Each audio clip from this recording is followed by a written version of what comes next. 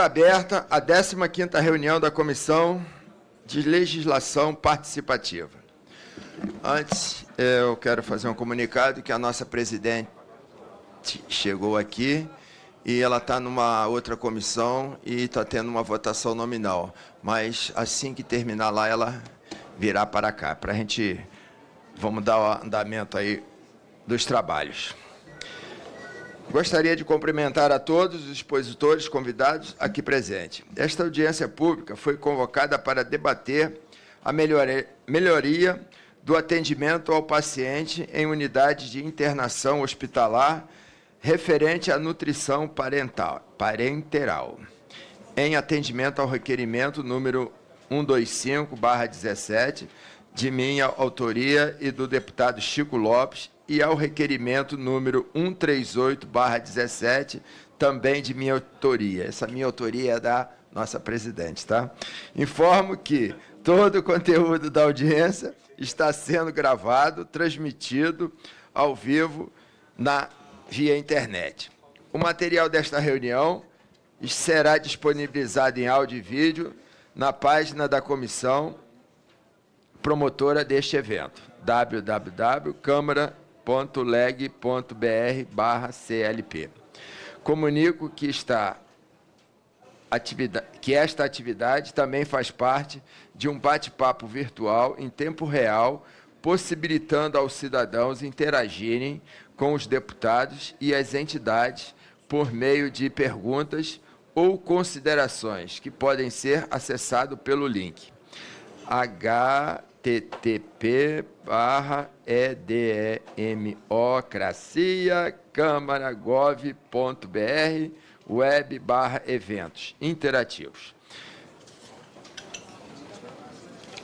Vamos passar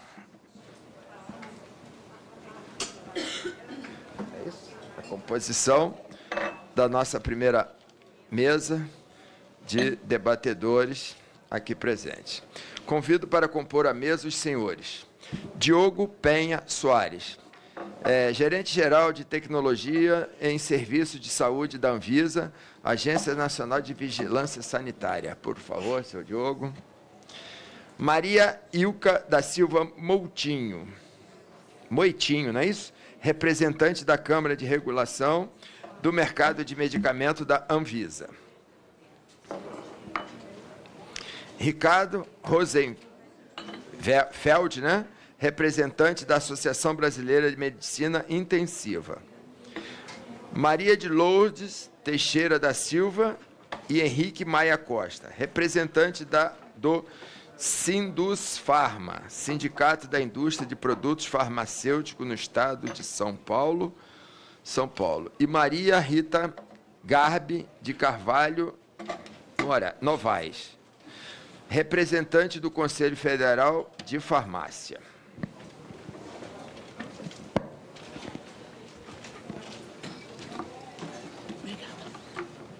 Tudo bem? Todos apostos?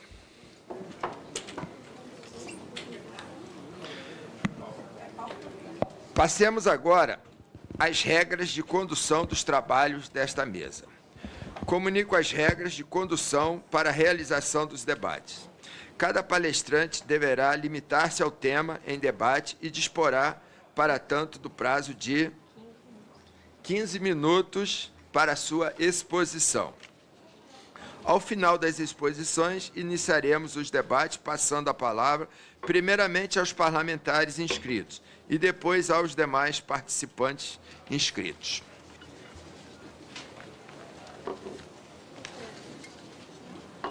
Tendo sido esclarecidas as regras, passemos à exposição. Passo a palavra ao senhor Diogo Penha Soares, gerente-geral de tecnologia em serviço de saúde da Anvisa, Agência Nacional de Vigilância Sanitária. Com a palavra, o senhor Diogo. Tudo bem. Todos apostos?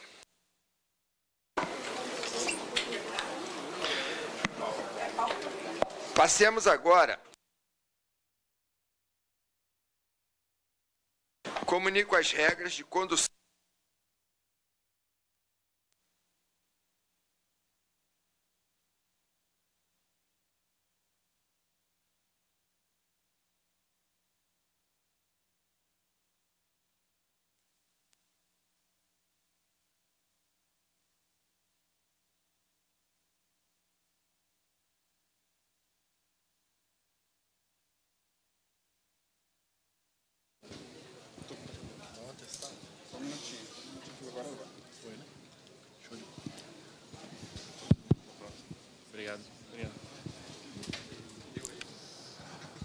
Boa tarde a todos.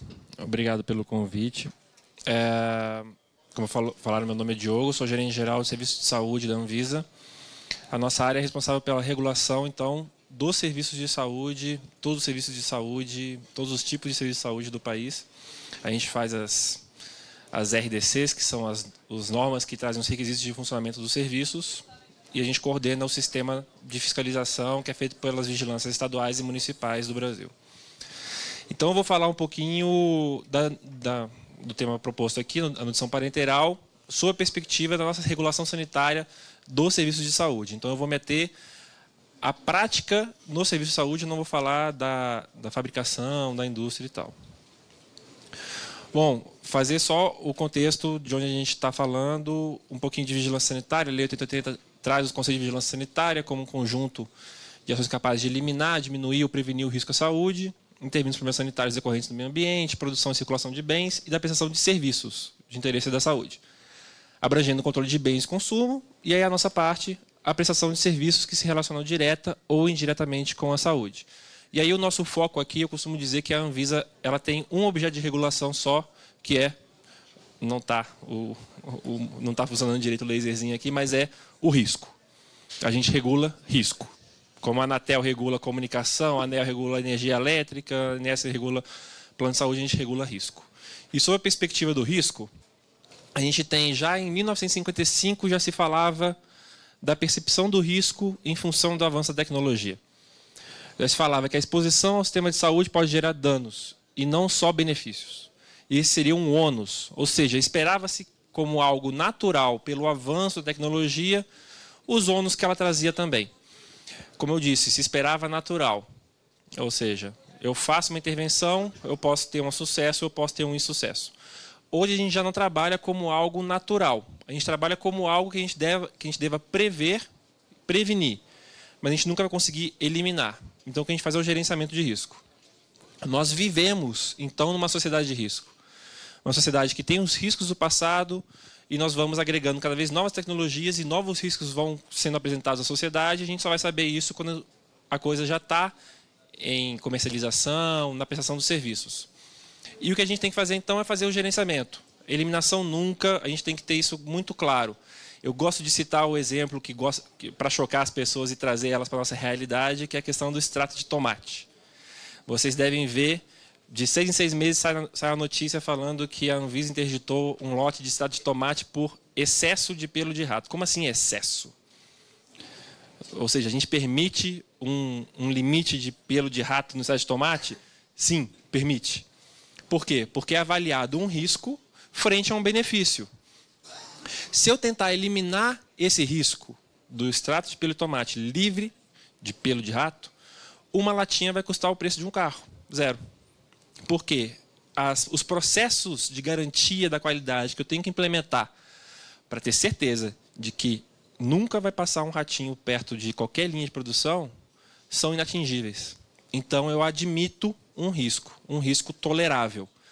O que a gente trabalha é trazer o risco do inaceitável, do intolerável, para dentro de uma faixa tolerável. E conforme a gente vai é, evoluindo, a gente vai diminuindo essa faixa. A gente vai trazendo o risco tolerável mais para baixo até tender a zero. A gente nunca vai chegar a zero. Então, o que a gente faz é, nós temos um, nem serviço de saúde, nós temos um sistema operando. Nós temos rotinas e padrões de procedimentos acontecendo todos os dias com pacientes. E o que a gente espera? Ninguém sai de casa esperando que você vai cometer um erro e que vai ter um evento adverso. Você nunca espera isso daquele procedimento que você foi treinado, capacitado para fazer, que você faz com confiança. Só que os erros estão lá esperando acontecer. Então você tem que prevê-los e preveni-los. Um sistema seguro é um sistema em que nada de inesperado acontece. Se um evento aconteceu, é porque ele era esperado para o sistema. O sistema é perfeito.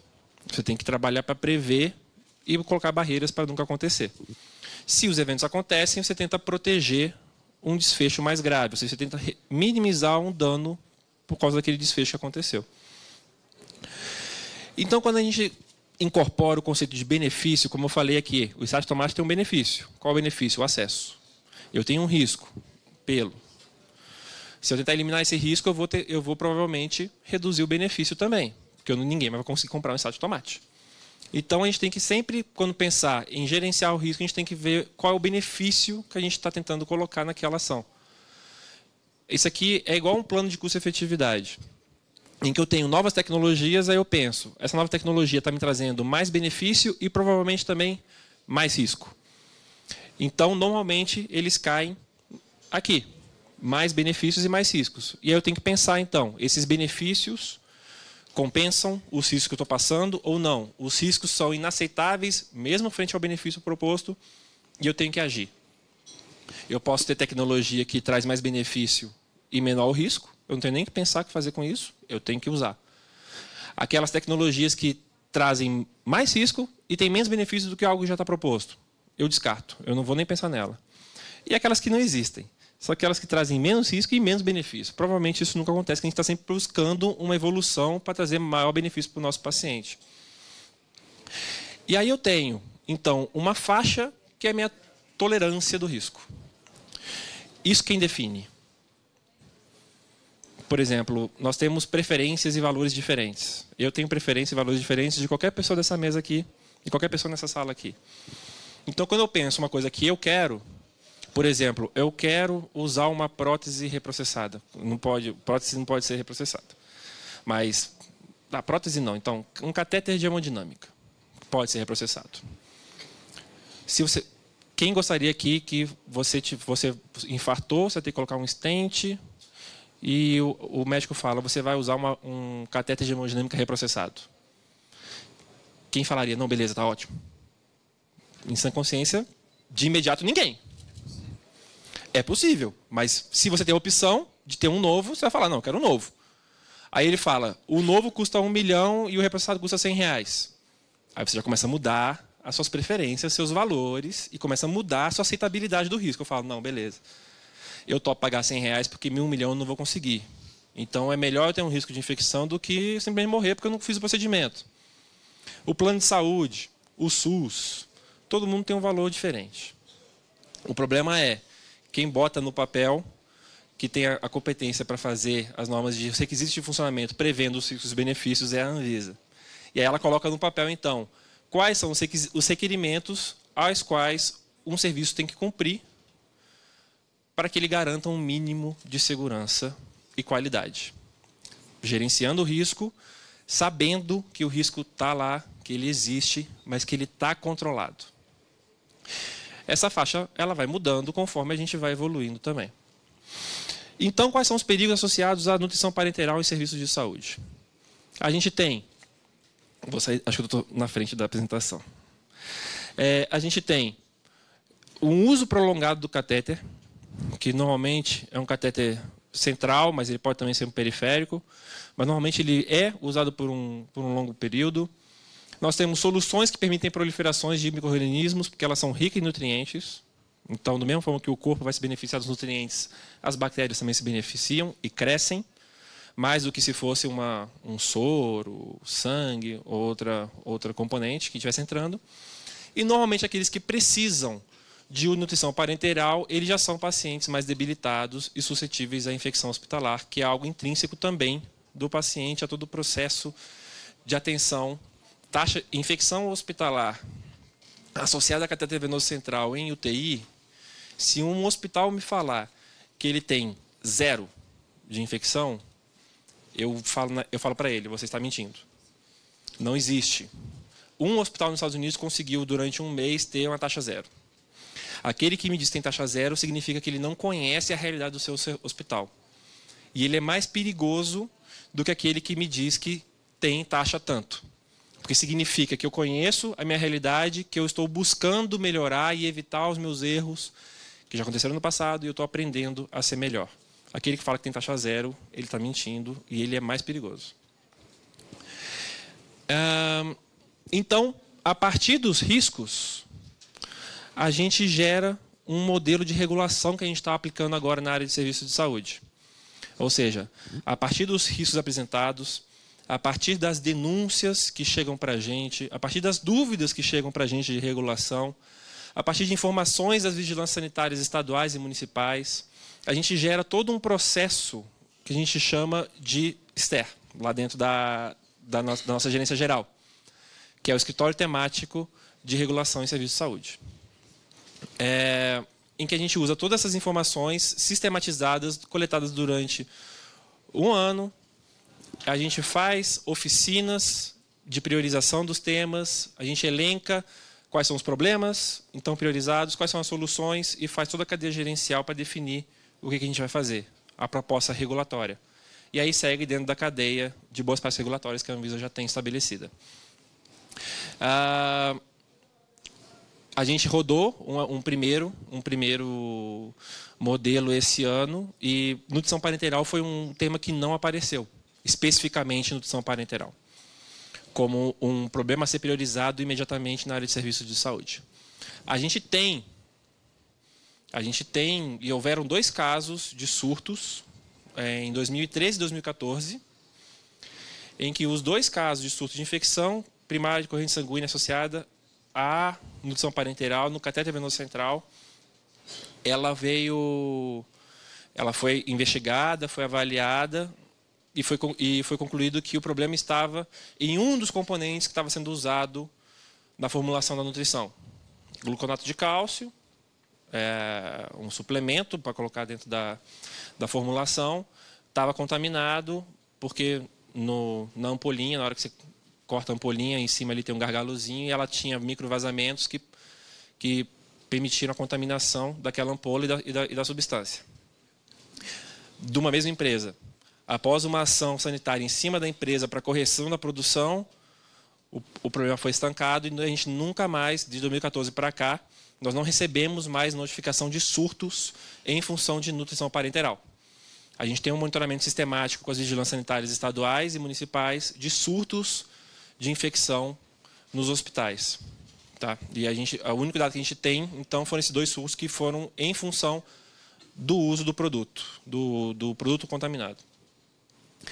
Como que a gente está hoje com o nosso modelo regulatório, então, a nossa arcabouço regulatório? A gente tem uma portaria que é de 98, ela é da antiga Secretaria de Vigilância é, Sanitária do Ministério da Saúde, e que hoje fica sob nossa responsabilidade, então, que foi antes da criação da Anvisa, que fica, é a portaria 272 de 98, que fixa os requisitos mínimos para a terapia nutricional parenteral no serviço de saúde.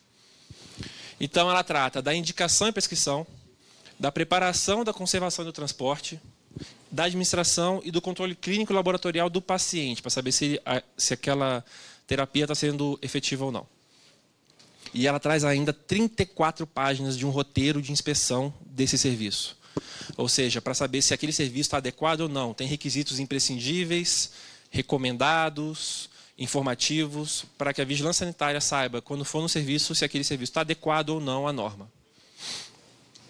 Eu trouxe alguns pontos, tá, tá, tá ruim aqui, eu não vou cansar vocês, nem vou fazer vocês dormirem, mas é só, só, só alguns pontos que falam sobre a preparação do produto no serviço de saúde que o farmacêutico é responsável, é, a gente tem que ter uma, uma análise amostral microbiológica da qualidade desse produto, se ele está contaminado ou não. A gente tem que seguir as boas práticas de fabricação de solução parenteral de grande volume e de produtos farmacêuticos. Tem anexos falando como, quais que são essas boas práticas, tanto para preparação quanto para administração. É, deixa eu voltar aqui. Tem que a área, a, a área tem que ser uma área limpa, classificada como A e B, segurada por B e C, são coisas técnicas que tentam garantir a segurança e a asepsia do procedimento de preparação. Aqui outra página falando como são os recipientes, a rotulação, a, o armazenamento, tudo isso e as amostras para fazer o controle é, microbiológico. Além disso, além dessa norma, que não, que não apareceu para a gente, com os dados que a gente recebeu, então, de denúncia, de dúvidas, de inspeção, coisa e tal, não apareceu como uma norma prioritária a ser trabalhada hoje. A gente tem outras normas que estão na frente para a gente trabalhar. Até dá para atualizar essa norma, porque hoje ela não está mais no mesmo formato, ela não tem a mesma forma legislativa regulatória que a gente usa. Mas as barreiras sanitárias que ela impõe ao serviço, elas garantem que o serviço cumprindo tudo isso, a prática é segura. Além disso, a gente monitora na, na GGTES, que é a Gerência Geral, a sigla, a gente monitora a incidência de infecção primária de corrente sanguínea associada a catéter venoso central em UTIs. As infecções de, de, de indução parenteral, elas comumente vêm, elas causam esse tipo de infecção. A gente monitora, então, todas as infecções, independente de ser indução parenteral ou por outras formas, a gente monitora esse tipo de infecção. A, a gente tem, a gente publicou agora em fevereiro de 2017 um manual com medidas de prevenção de infecção relacionadas à ciência da saúde, que são todas as infecções em serviço de saúde. Chamar a atenção do expositor, que ele tem mais três minutos, tá, porque já... senão prejudica os anteriores. Eu tenho, eu tenho mais três slides só mesmo. É... E a gente, lá dentro você tem as medidas de manipulação de catéter para prevenir as infecções associadas ao catéter central é... e várias menções à nutrição parenteral, porque ela de fato é um risco. Ela de fato é um risco. E ela está prevista, então, como você evita o risco. Ah, como eu falei, a gente monitora a densidade. A gente tem uma densidade, a gente vinha tendo, a partir de 2011 foi quando a gente começou a monitorar, até 2015, que foi o último dado que a gente tem consolidado, isso está publicado no site da Anvisa. A gente vê a densidade caindo sistematicamente, a partir do, do, de medidas que a gente tem. A gente tem planos plurianuais para reduzir a incidência de infecção certo? Isso tem boletim publicado lá no site da Anvisa, não se preocupem. E a OMS publicou agora também o terceiro desafio global, que é trabalhar os erros de medicação. O terceiro desafio global da segurança do paciente. A nutrição parenteral ela é uma medicação e a, as falhas em manipulação elas são consideradas como erro de medicação, como são falhas em manipulação de quimioterápicos e tal. Então, uma das ações que a gente tem na Anvisa foi estruturado um plano para trabalhar dentro da Anvisa para evitar os erros de medicação. Uma das propostas que a gente tem na nossa área é trabalhar a regulamentação das farmácias hospitalares, funcionamento das farmácias hospitalares. Hoje não há um, um regulamento específico para esse setor da farmácia hospitalar lá dentro, como que ela funciona. Então a gente vai propor na agenda regulatória que ainda está sendo construída e a partir de 2018 provavelmente a gente vai começar a trabalhar esse tema mais específico e trazer mais segurança ainda à prática. Era isso que eu tinha para falar. Muito obrigado, tu fica à disposição. Agradecemos a exposição do senhor Diogo da Soares. Vamos chamar, sem muitas delongas.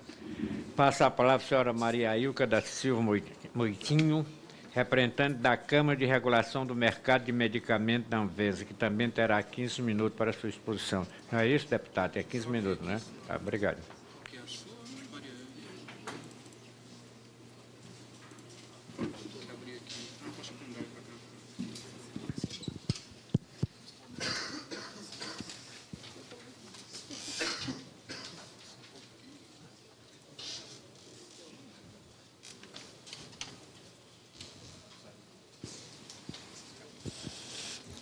Boa tarde a todos. Gostaria também de, de agradecer pelo convite e dizer que a CEMED coloca sempre à disposição, que é, a gente considera que esse tipo de debate é muito importante mesmo para que os assuntos, principalmente esses assuntos técnicos, sejam amplamente debatidos é, sempre que tiver um, né, antecedendo a uma norma ou, ou alguma medida do Congresso. Bom, é, eu trouxe aqui alguns resultados da CEMED, porque o tema da audiência pública, melhoria do atendimento ao paciente em unidades de internação hospitalar, referente à nutrição parenteral. Só gostaria de esclarecer que a CEMED não regula serviços ou preços de serviços. A CEMED regula preço de medicamentos, regula o mercado de medicamentos, né? Então, é, vou trazer aqui algumas, é, alguns assuntos relacionados a essa regulação do mercado de medicamentos. Bom, o, o medicamento ele inicia com a pesquisa clínica, né, que vai desenvolver a formulação. Em seguida, faz o registro na Anvisa e é, para que ele seja inserido no mercado, é necessário que a empresa solicite o preço também na Anvisa, que é, exerce a Secretaria Executiva da Câmara de Regulação do Mercado de Medicamentos. Então, é, a, também a, a, Anvisa faz a, todo o monitoramento desse mercado, monitoramento dos preços, tanto preço público, que é destinado aos órgãos que representam o SUS, e também preço destinado ao mercado privado, consumidores, é, hospitais, seguradoras de saúde e assim por diante. Mas por que então regular o mercado de medicamentos? Por que, que é necessário um órgão que uh, se preste a fazer essa regulação né, do mercado? Porque esse, esse é um mercado que apresenta algumas assimetrias de informação, é, apresenta algumas características que são é, que leva o Estado a intervir em algumas práticas, nas práticas de preço, por exemplo, e de comercialização também. Então, é um mercado que tem muita assimetria de informação é, e a CEMED tenta minimizar essas assimetrias e também é um mercado caracterizado pela é, presença de um consumidor substituto. O que seria isso? o fato de, muitas vezes, quando o medicamento é de venda sob prescrição médica, não é o paciente que escolhe qual produto vai consumir. Quem escolhe, quem faz essa escolha por ele, geralmente é o médico. Isso a gente chama de um prescritor, de um consumidor substituto, que muitas vezes ele não vai conseguir fazer uma opção pelo produto mais barato. Ele vai ter que optar pelo produto que foi, é, que foi prescrito pelo médico.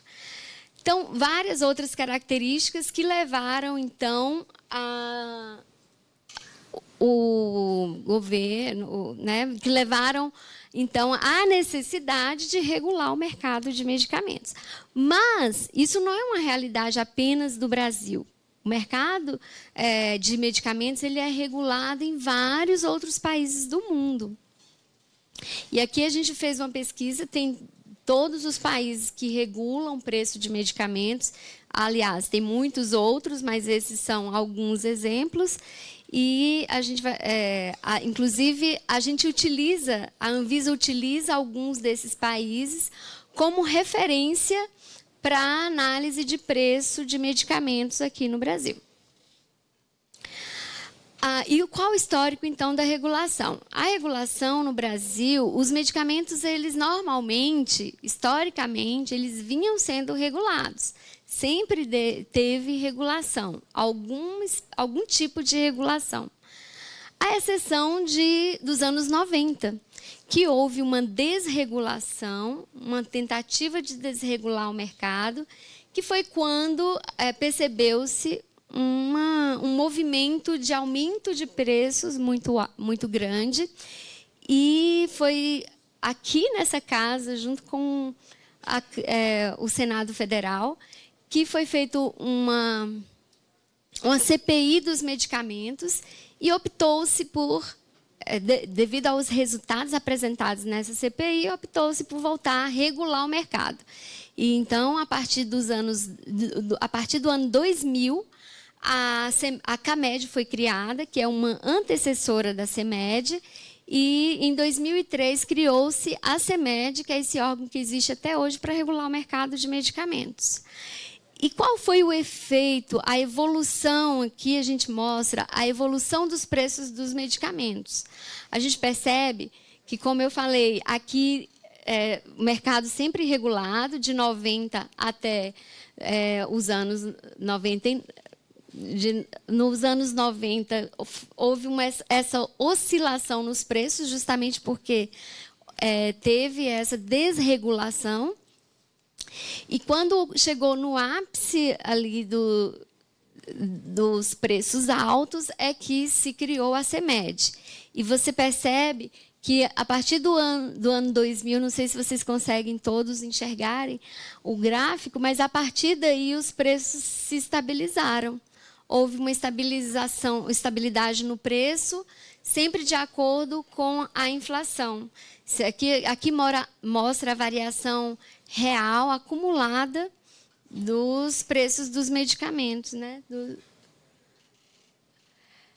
E Aqui eu trouxe alguns exemplos que mostram o impacto da regulação de medicamentos. É, esse imatinib é um exemplo, foi um estudo realizado pela Universidade de Liverpool, que mostra que no Brasil, hoje no Brasil, o mesmo medicamento que é comercializado em outros países, ele é até seis vezes mais barato do que, por exemplo, os Estados Unidos. E isso é um efeito da nossa regulação, porque quando um medicamento novo entra no mercado, ele, a gente utiliza uma, uma, diversos países como referência e o medicamento ele não pode superior ao menor não pode ser superior o preço dele ao menor preço praticado nesses países. E isso tem trazido os preços para baixo sem causar é, efeitos, por exemplo, de desabastecimento. Então, o mesmo, se o mesmo produto está sendo comercializado mais barato em outros países, ele vai ser comercializado pelo menor preço aqui também no Brasil. E isso a gente vê que é, nesse outro gráfico em vermelho eu trouxe um exemplo de um produto que não estava, não tinha preço regulado. É, esse produto ele estava sendo importado diretamente pelo Ministério da Saúde, porque o produto simplesmente não tinha preço aprovado no Brasil por um período também não tinha registro, mas o Ministério da Saúde era obrigado a adquirir o produto por causa de uma ação judicial, por exemplo. Então ele fazia importação direta. Aí quando agora este ano a gente finalmente analisou o preço do produto. O gráfico em vermelho mostra o quanto a mais o Ministério da Saúde estava pagando pelo medicamento e hoje a, a a Anvisa na primeira instância e a CEMED, né, a, o Comitê Técnico Executivo da CEMED, estabeleceram o preço do produto nessa faixa azul. Então, o que, que isso quer dizer? Que isso representou para os cofres públicos uma economia de 50 milhões. Por quê? Porque o Ministério Público estava pagando um valor muito acima do que ele deveria pagar porque ele estava pagando um valor superior ao que o produto estava sendo comercializado em outros países lá fora. E a CEMED, então, ela vem para isso, para trazer os preços dos medicamentos mais próximos da realidade internacional.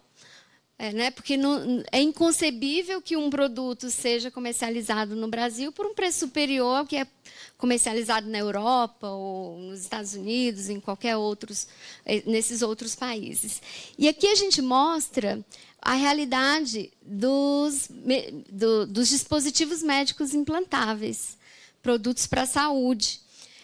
Foi feita também uma, uma pesquisa na Anvisa, com base num banco de dados, informação da, das próprias indústrias que fabricam, esse, que comercializam esse tipo de produto no Brasil. A gente vê que, para produtos para a saúde, essa realidade não é, não é igual. Para produtos para saúde, apenas 14% dos produtos para saúde comercializados no Brasil, eles têm preço equivalente ao mesmo valor do mercado internacional. Esses outros gráficos mostram, mostram o quanto eles são superiores no Brasil em relação ao mercado internacional. Então, tem produto aqui, produtos para saúde no Brasil, que que, tem, que estão sendo vendidos por até 30 vezes mais caro do que produtos que são comercializados em outros países, nos, nos mesmos países que a CEMED utiliza para regulação de preço de medicamentos. Então, é, essa é uma realidade. Só para. Ah, tá bom, obrigada. Então, é só para mostrar um paralelo do que é um mercado regulado de um mercado que não é regulado. E Então, é, hoje, a CEMED proporciona que 87, mais de 87% dos novos medicamentos que chegam no país, que são registrados e são colocados no mercado, então mais de 87% tem preço inferior, reduzido em relação ao que a indústria solicita para ser é, comercializado. Então, é o menor, inclusive, menor preço internacional ou custo de tratamento que também a gente utiliza como parâmetro para cálculo. E, e o mesmo não ocorre para produtos para saúde, é, DMI, por exemplo, que não é regulado pela CEMED, que chega a 85% superior. Então, se esse também fosse um mercado regulado, teria essa redução nos preços. Então, aqui eu, eu mostro do que, que a gente está falando. Que mercado é esse? É um mercado de 20, mais de 25 mil medicamentos autorizados para comercialização, 25 mil apresentações de medicamentos. Então, é um mercado muito grande. E desses, em 2016, foram comercializados 12 mil. Ainda tem medicamentos que podem ser incluídos no, no mercado que ainda não está em comercialização. 12 mil apresentações. Aqui, 1.800 princípios ativos, associações em comercialização também em 2016. O que esse mercado representa, então, é, 62 bilhões de reais. Que é, esses são dados do do Sistema de Acompanhamento do Mercado de Medicamentos, Sistema SAMED, que é o maior, maior é, fonte de dados que a gente tem hoje em relação ao mercado farmacêutico. E é, que representa que são informações censitárias informadas pela própria indústria farmacêutica. E aqui eu mostro rapidamente como a evolução desse mercado, né? O que, que a CEMED tem feito para regular o mercado?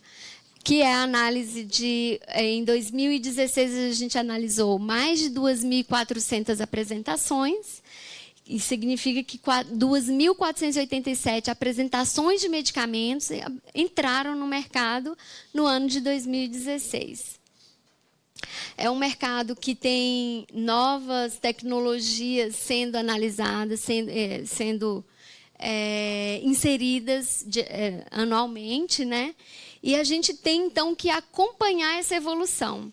A, então a Secretaria Executiva, a Anvisa tem feito análises importantes, como o primeiro radiofármaco que foi registrado e a gente teve que analisar o preço os novos oncológicos, a vacina da dengue, que foi uma, uma análise muito aprofundada com o uso da é, análise de tecnologia em saúde, que foi bem completa também. Então, e foram permitidas a comercialização da vacina da dengue, se aproximou mais ainda da sociedade. Por quê?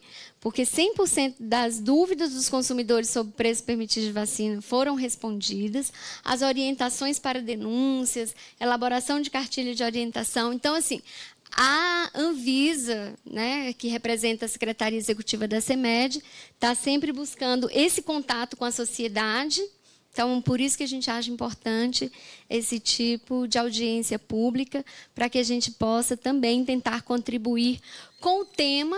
E então a gente se coloca. Com, é, isso mesmo.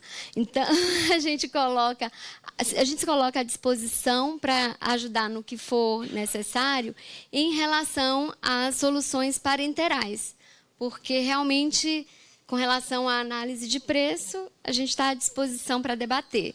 E serviços de saúde, realmente, a gente não regula. Obrigada. Justeza. Agradecemos até mesmo no, no, tempo certo.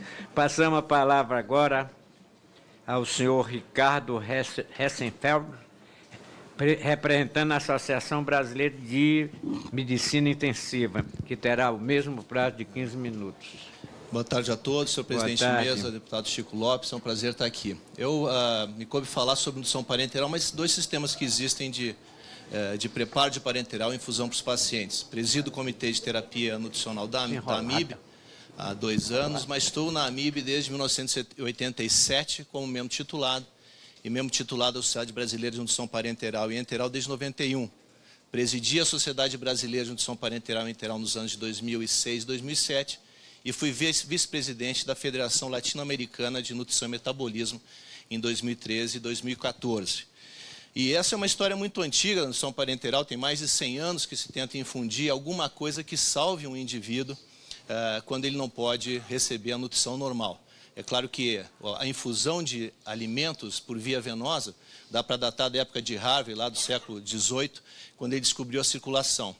E é um método que se tornou efetivo a partir de 1968 com os estudos de Stanley Dudrick, aqui está ele com os experimentos em animais, e que ele mostrou que ele é possível infundir e esses animais crescerem desde o nascimento até uma idade madura, usando nutrição parenteral da mesma maneira que cresciam os, os animais que se alimentavam uh, com ração. Uh, essa é uma outra foto dele uh, atual, ele continua trabalhando ainda. E nos últimos 50 anos, desde a época de Dudrick, milhares de pessoas foram salvas com a nutrição parenteral. e isso é reconhecido no mundo inteiro. Só que houve um crescimento do conhecimento das alterações metabólicas e das complicações causadas pelo preparo da nutrição parenteral. É, e uma das coisas é, fundamentais a se fazer, e dentro da medicina o primo non nocere é, é o mais importante, é prevenir essas complicações e é, no, no, tratamento diário dos pacientes. Então, hoje nós nos preocupamos, e principalmente dentro da terapia intensiva, com o extremo arsenal que nós temos para tratar o paciente, é reduzir a iatrogenia e o dano. Muito mais, às vezes, do que tentar usar um método mais complexo ou que não está totalmente é, sedimentado com estudos. Por quê? Nós estamos falando dentro da terapia intensiva, já que essa é minha área, eu trabalho 100% do meu tempo com pacientes, é, faço pesquisa clínica, não faço pesquisa experimental. Nós estamos falando de pacientes incapazes, total ou parcialmente, de receber esses alimentos ou os nutrientes por via oral ou através de cateteres enterais. De pacientes habitualmente cirúrgicos, críticos ou com patologia intestinal. E hoje a falência intestinal é uma realidade bem estabelecida. E de indivíduos que estão fragilizados ou pela doença que têm, ou com menor capacidade ou reserva corporal e maior agressão ao tratamento. Ou seja, indivíduos aonde a possibilidade de agressão adicional pelo tratamento é sempre danosa, piora o prognóstico e aumenta a mortalidade. Essa é a nossa tarefa dentro do hospital hoje em dia e dentro das unidades fechadas.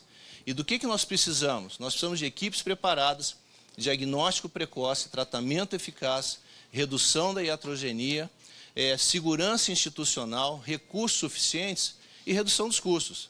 É, vocês vejam ah, como os custos da saúde têm aumentado nos últimos 20 anos, dispararam nos últimos 10 anos, e a medicina possivelmente vai ser uma, uma tarefa onde é, vai sobrar talvez para pagar um, um recurso muito escasso para um custo muito alto. Mas a evolução científica tem que estar sempre preocupada com o dano e a iatrogenia. Se nós pensarmos que a nutrição parenteral, antigamente, e eu como residente do Hospital Federal da Lagoa, fui do Ministério da Saúde, me aposentei o ano passado. Trabalhei 34 anos no Hospital da Lagoa. É, nós fazíamos parenteral, eu fazia, eu fui chefe do serviço lá, e nós fazíamos uh, na enfermaria, como vocês veem aqui, pendurávamos os frascos, que às vezes o, o, o agarrador não agarrava e o frasco caía no chão, nós tínhamos que amarrar isso com gás ou com crepom, como está. Eram frascos de vidro, preparo era para um profissional não habilitado, a punção era para um cateteres traumáticos, faltava controle laboratorial, as soluções eram instáveis e, e eram muito instáveis, eram contaminadas, o, o, cuidado não podia, é, claro, ser o maior cuidado do mundo com uma enfermaria. Os nutrientes eram tóxicos, nós usamos aminoácidos, aminoácidos clorados durante muito tempo, os pacientes morriam de acidose hiperclorêmica e haviam falta de nutrientes é, essenciais e alguns especiais, como hoje em dia. Então o mundo mudou. E aqui eu trouxe para vocês uma linha do tempo, onde em cima está a nutrição enteral, desde os alimentos in natura feitos na copa, chegando depois as fórmulas em pó, com uma manipuladora na década de 80, depois fórmulas prontas para usar na década de 90, onde teve a portaria 337 da nutrição enteral. Depois essas fórmulas foram fórmulas líquidas uh, e manipuladoras, veio a RDC 613 no ano 2000, e hoje é, se usa muito pouco formas manipuladas por via enteral. Ainda existe, mas é muito pouco o, a quantidade de uso. Elas vêm prontas para uso. E a parenteral saiu lá da década de 70, mais ou menos, de via periférica com aminoácido e glicose, feitas no laboratório. Passaram depois por via central com Dudrick, aminoácido e glicose numa enfermaria. Apareceu a Sociedade Brasileira de Nutrição Parenteral e Enteral. Os cateteres eram centrais, a enfermaria e aí a manipuladora também começou a aparecer por volta aí dos anos 80. Via central entrou o lipídio depois, nos anos 90, veio a portaria 272 da parenteral. A Sociedade Brasileira começou a fazer a prova de título especialista para nutrição parenteral e enteral. A via central, manipuladora, fórmulas RTU, e hoje nós temos um arsenal enorme de como fazer a nutrição parenteral e enteral, inclusive com módulos. Então existe uma evolução da ciência, uma evolução do conhecimento. E como é que um médico escolhe a terapia? Primeiro, pela evidência científica. Não dá mais para trabalhar sem evidência científica. Segundo, eficácia clínica. Adesão ao que é prescrito. Tem pacientes que têm HIV, tuberculose e abandonam o tratamento. Imagina que se nós fizéssemos isso ou não dessemos atenção para isso. Baixo índice de efeitos colaterais e menor custo. Se é um ambiente da terapia intensiva, um paciente com um, um, um balão de contrapulsação com doença coronariana, e vai receber possivelmente ficar internado nutrição enteral e se não conseguir nutrição parenteral.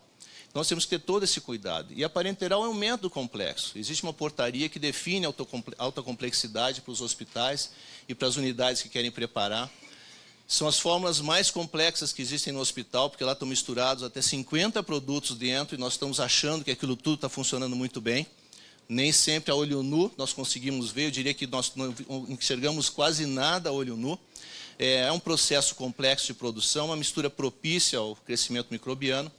A infusão necessita quebra de barreira natural das defesas, a pele. E mais, a substância é infundida diretamente no sistema venoso central. Então, qualquer carga que tenha microbiana ou qualquer alteração dessa forma que não seja compatível com aquele indivíduo que está lá ou, de alguma maneira, não seja tolerável, o paciente vai ter um problema rápido, nem sempre de fácil identificação. E mais, é um método com quebra de fisiologia alimentar para a manutenção da vida. Se um ser humano precisa fazer duas coisas, ele precisa comer e respirar. Então, nós estamos trabalhando, talvez, na medicina, condição parenteral ou enteral, com um método de sobrevida e de sobrevivência.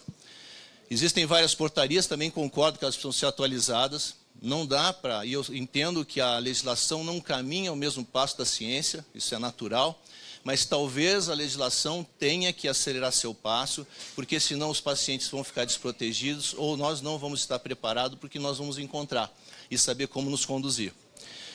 Só para ver uma, uma, uma, diferença entre manipulada e pronta para uso, elas usam basicamente as mesmas substâncias, aminoácidos, glicose, triglicerídeo. Algumas vezes é possível colocar em algumas aditivos, vitaminas, minerais, algumas já vêm, outras não suplementos e algumas drogas. Então, hoje, uma nutrição manipulada ela pode oferecer tudo que um paciente precisa, inclusive medicamentos. É claro que alguns são compatíveis, outros não.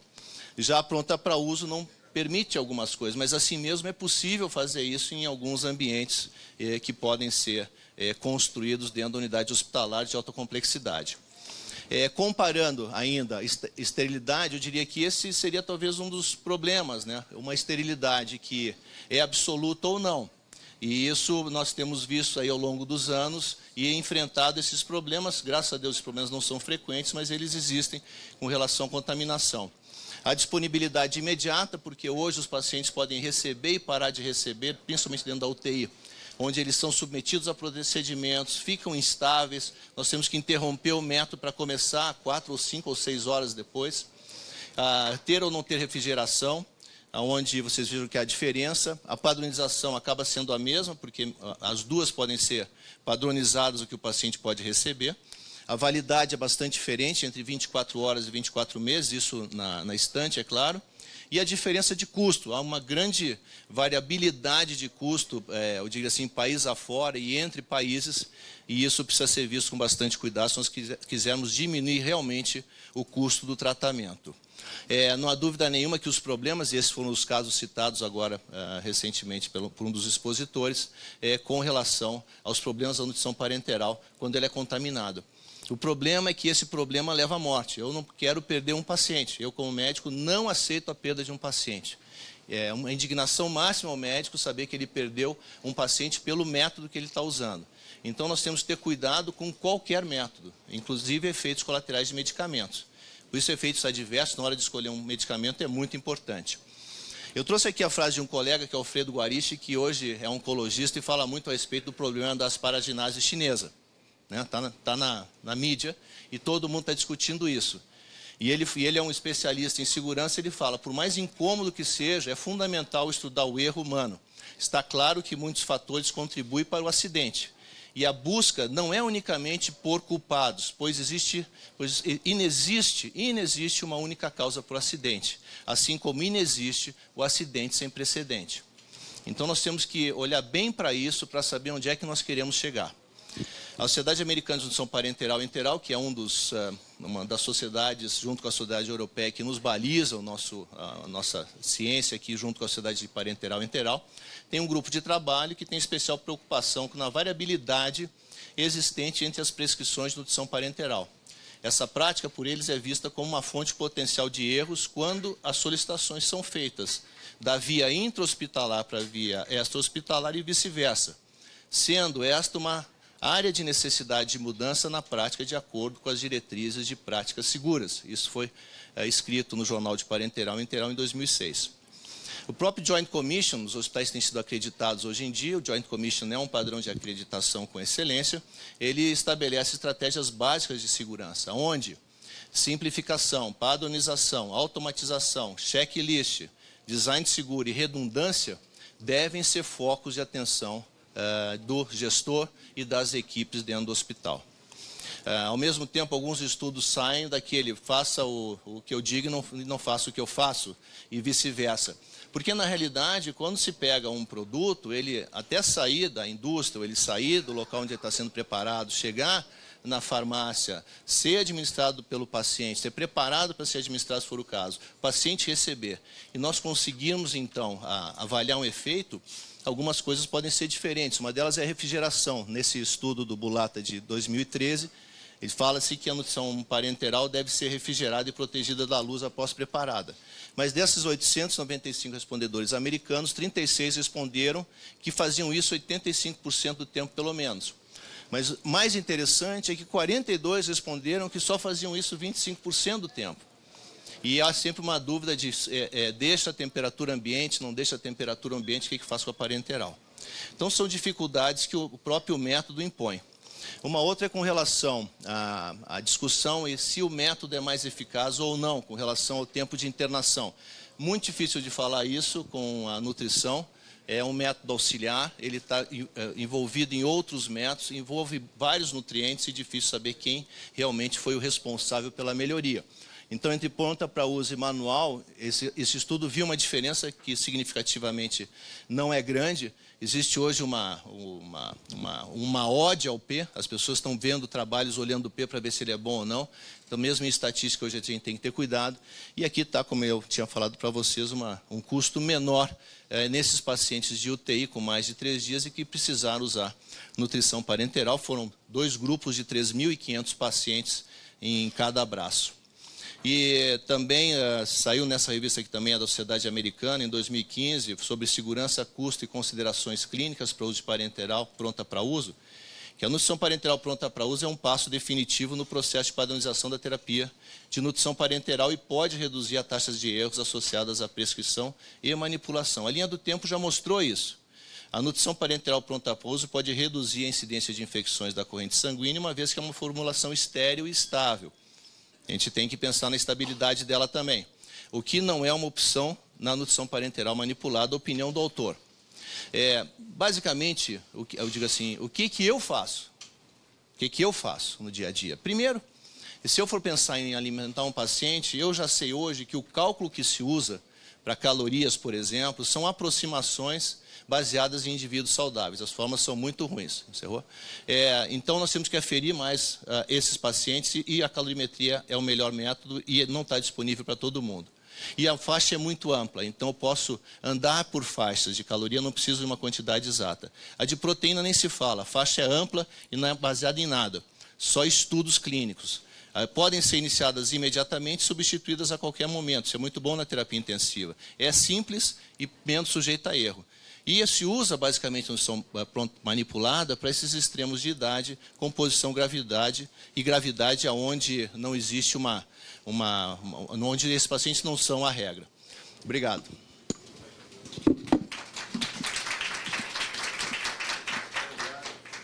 Antes de eu chamar o próximo, próximo palestrante, eu quero perguntar ao nosso deputado Laércio Oliveira, se ele quer fazer uso da palavra, que ele é um, está sempre presente. Presidente, fica à vontade. Meu, meu colega, eu quero agradecer a você a gentileza,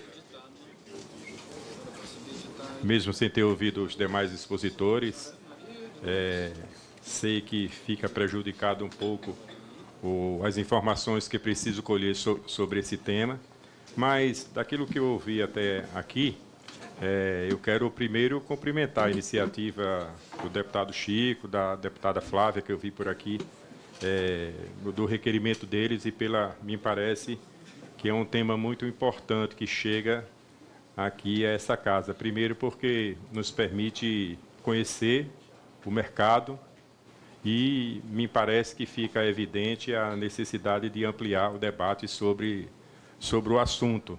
É, eu acho que a primeira lição que a gente tira e a primeira conclusão, aliás, é da necessidade de fazermos outra audiência pública.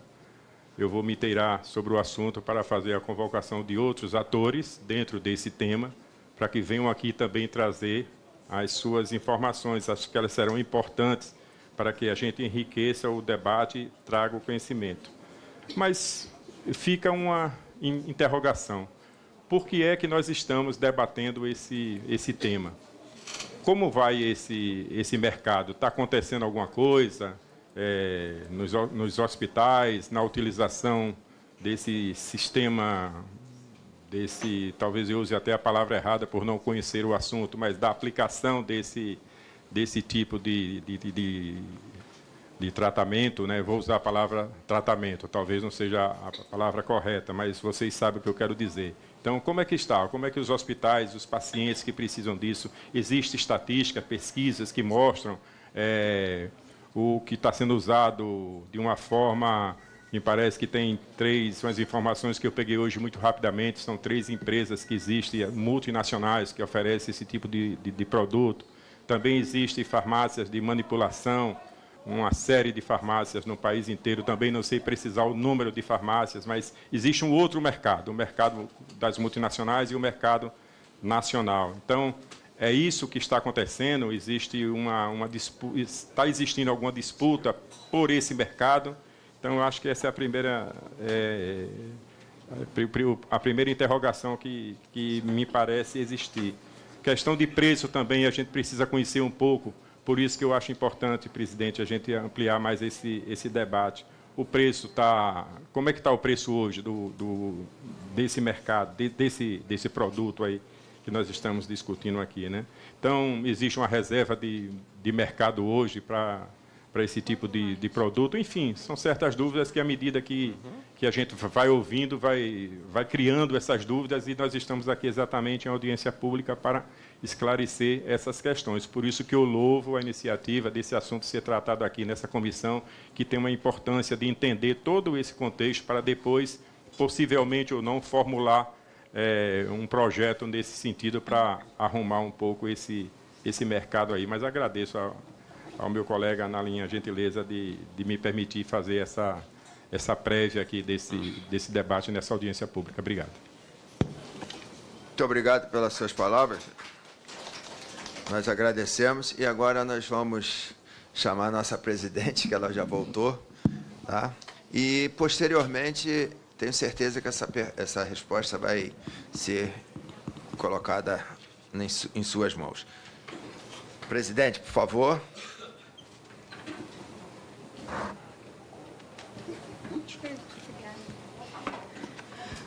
Boa tarde, senhores e senhoras. Eu queria cumprimentar todos os presentes, dizer que esse tema que nos move hoje é um tema muito importante sobre alimentação parenteral e nós queríamos agradecer a presença dos expositores que estão aqui. Antes de sentar nessa mesa, eu já dei uma olhadinha ali na participação virtual através do E-Democracia. Alguns alguns se manifestando e perguntando sobre algumas instituições que não estão participando hoje. Aqueles que estão aqui vão perceber que o tempo é curto para ouvir a todos num só dia. Com certeza nós teremos outros momentos e vamos trazendo outras entidades que representam e que podem falar sobre esse tema. A intenção da Comissão de Legislação Participativa é justamente abrir a possibilidade, a oportunidade de participação da sociedade. E aqui nós queremos, né, não existe restrição nenhuma, queremos ouvir a todos. É um tema que chegou até essa comissão, é, que com certeza reconhece a importância da discussão e do debate, e por isso nós estamos abrindo esse espaço. Hoje é uma primeira, é a primeira de outras audiências que nós poderemos fazer sobre o mesmo tema. Eu quero aqui agradecer a presença do deputado Laércio, eu pude ouvir um pouco da sua fala e que vai de encontro ao que eu estou falando agora, a necessidade a intenção de nós trazermos outros convidados para que a gente continue é, nessa discussão. Hoje, é, os convidados já estão à mesa, os expositores que estão à mesa é, representam instituições importantes que vão estar aqui também já manifestando. Né? E eu, acompanhando e dando continuidade aos debates, eu quero aqui passar a palavra, está aqui o nosso vice-presidente, deputado Chico Lopes. Eu quero passar a palavra agora para o senhor Ricardo Rosenfeld. É Maria.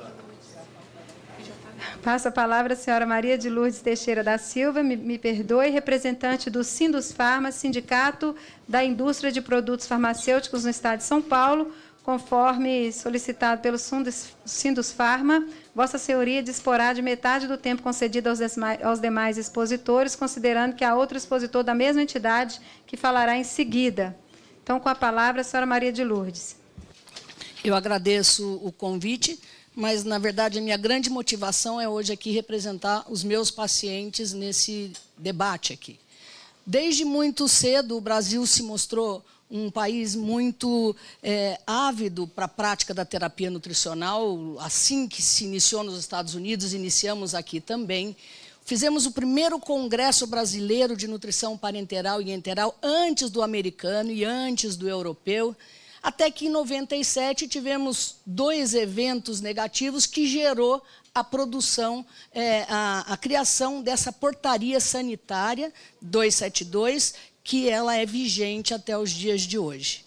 É, em 2000 chegou aqui no Brasil também a nutrição parenteral industrializada.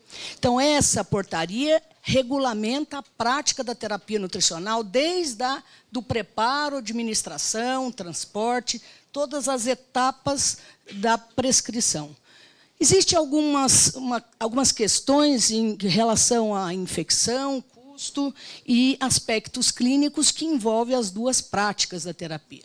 A bolsa pronta para uso ou a bolsa industrializada, frente à bolsa manipulada. Questões de segurança, uso imediato e armazenamento longo, não se tem dúvida, maior eficiência e menor custo, isso pode ser questionado no mundo inteiro.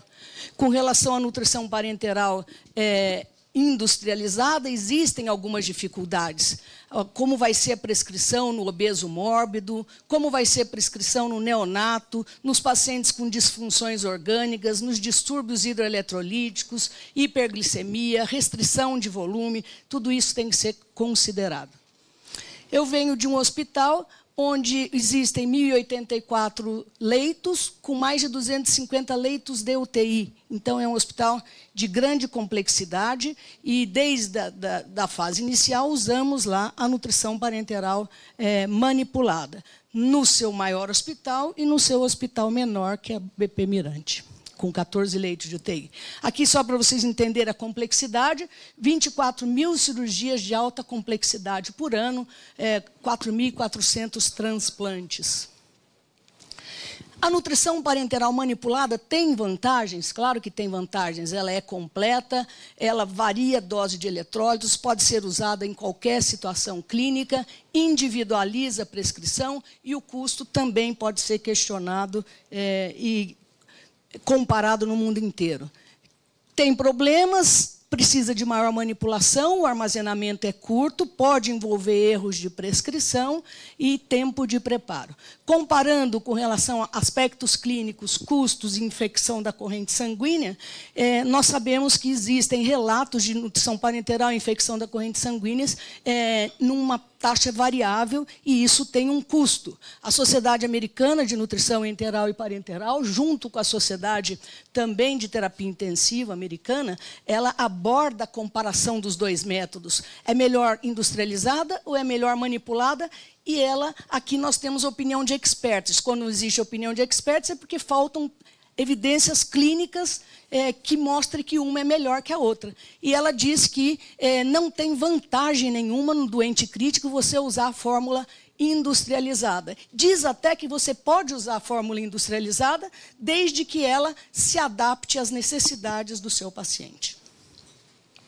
Esse é um estudo que todo mundo que, que se debruça para estudar e comparar as duas já manuseou, que é sobre infecção da corrente sanguínea, um estudo multicêntrico, Brasil, Guatemala, Argentina, compara as duas fórmulas de nutrição parenteral e a gente vê que a industrializada nesse estudo teve menor é, infecção da corrente sanguínea. O que chama atenção é que se teve menos infecção, como é que os dois grupos não tem diferença com relação a sepse, choque séptico, permanência em UTI, permanência hospitalar e mortalidade. Mesmo resultado nos dois grupos. Então, é, é, um estudo que tem algumas limitações. Eu destacaria, por exemplo, a falta de definição da causa e da origem da infecção, uma vez que nenhuma bolsa foi é, questionada, foi verificada a presença de contaminantes. Os pacientes receberam nutrição parenteral por 10 dias, mas a infecção foi avaliada por 28 dias. Esse mesmo grupo de autores é, também comparou agora, num, num banco de dados americanos, o que era melhor, fórmula industrializada, fórmula manipulada ou manipulada feita dentro dos hospitais. E aqui a gente vê diferenças é, importantes. Nós vemos os dois grupos aqui, que a diferença de infecção foi um pouco menor é, nos grupos que receberam industrializada, mas os próprios autores falam que estabelecer causa e efeito é impossível. Os mesmos autores falam que a nutrição parenteral, como a, a, a manipulada, que foi a que teve mais infecção, como causa da infecção da corrente sanguínea, não está claro e é impossível comprovar dessa maneira. Os custos também foram avaliados e os custos é, chama a atenção que vai ser muito difícil a gente encontrar estudos que, de fato, tirem essa dúvida, porque a indústria farmacêutica pode praticar descontos extremamente elevados. Então, isso, aqui no Brasil, por exemplo, se nós olharmos. É, cada pessoa, cada hospital aqui vai ver um preço diferente por causa desses descontos. Mas se nós olharmos no Brasíndice, que é o preço final máximo ao consumidor, não vai ter praticamente diferença entre a manipulada e a industrializada. Aqui também nós vemos estudos comparando, estudo é, de hospital universitário, 1.200 leitos aqui, comparando as duas formulações, e eles concluem que se você prescreve nesse hospital menos de 15 bolsas, é, o, o custo fica mais barato para a industrializada. Se você prescreve mais que 15 bolsas por dia, o custo menor vai ser para manipulada. Então, o custo realmente é extremamente é, variável. Essa, esse slide, vocês me desculpem, está fora de lugar, mas fazendo parte ainda daquele eh, grupo de, de eh, estudo que comparou as três formulações, parenteral, parenteral manipulada e parenteral manipulada no hospital, aquele banco de dados americanos, se a gente for comparar os três grupos, são totalmente diferentes os grupos, seja por idade, faixa etária, número de leitos no hospital, característica do hospital, se é de ensino, se é hospital urbano. A única coisa que não mudou nos três hospitais foi o desfecho. Todos os hospitais tiveram a mesma taxa de mortalidade. Então, isso não foi a grande é, coincidência dos três grupos. Com relação ainda a custos, a gente vê que esse foi feito num hospital terciário de referência da Universidade do Wisconsin, onde eles usam rotineiramente nutrição parenteral manipulada, só passaram a usar por um período curto a industrializada, porque por alguma razão faltou aminoácido naquela, naquela ocasião. E eles compararam do, as duas formas, o mês antes com a nutrição é, manipulada e depois com a industrializada, e eles viram que no grupo que recebeu industrializada, pela menor quantidade de eletrólitos, eles precisaram receber doses a mais de eletrólitos, o que fez com que o custo fosse maior para o grupo que recebeu a fórmula industrializada. E muitas vezes esse custo não é computado. Então, aqui mostra a diferença de valores aqui para o grupo que recebeu é, maior quantidade de é, eletrólitos e mostrando que isso foi uma diferença. E, finalmente, com relação aos aspectos clínicos, o que, que a gente pode ver? Que quando compara nutrição parenteral industrializada com a manipulada, nesse estudo, na industrializada, os doentes receberam menos proteína e tiveram mais problema com distúrbio hidroeletrolítico, no caso aqui o sódio. E o custo foi maior. Então, nós vamos ver custo alto e custo baixo variando nos diversos estudos que a gente pode se debruçar aí e tentar essa comparação. Aqui o que nós vemos é que quando nós olhamos as duas sociedades, americanas de terapia intensiva e, e aqui o guideline, ops, o guideline de paciente obeso, aqui tem todos os o que nos norteia com relação à prescrição do que o paciente obeso e grande obeso precisam receber. E, e como o doutor Ricardo disse mesmo, a gente se pauta muito pelas pelas diretrizes da Sociedade Americana de Nutrição Parenteral e Enteral. Então, se nós tivermos, só para exemplificar, um paciente obeso mórbido na, na, UTI, seguindo aquelas normas, nós sabemos que ele precisa de 1.650 calorias e 170 de proteína. Nenhuma das três fórmulas disponíveis no nosso meio, industrializadas, dá o que o doente precisa. Aliás, ela dá. Só que para ela dar isso, ela vai levar cargas enormes calóricas. Para eu dar 177 calorias, eu tenho que dar 4 mil calorias para um doente que precisa de 1.600 calorias.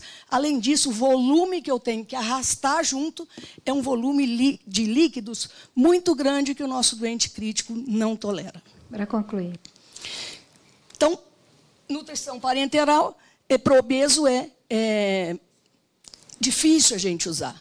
Sem contar que se a gente não quer dar toda essa caloria e vai dar menos proteína, isso vai ter um impacto na mortalidade e na incapacidade desses pacientes. E, finalmente, neonatologia, não existe fórmula pronta que atenda esses pacientes. E nós sabemos que mais de 70% dos neonatos internados em UTI de neonatos precisam de nutrição parenteral em alguma fase, por diversas razões que a gente descreve aqui. Portanto, nutrição parenteral manipulada no neonato é impossível não usar.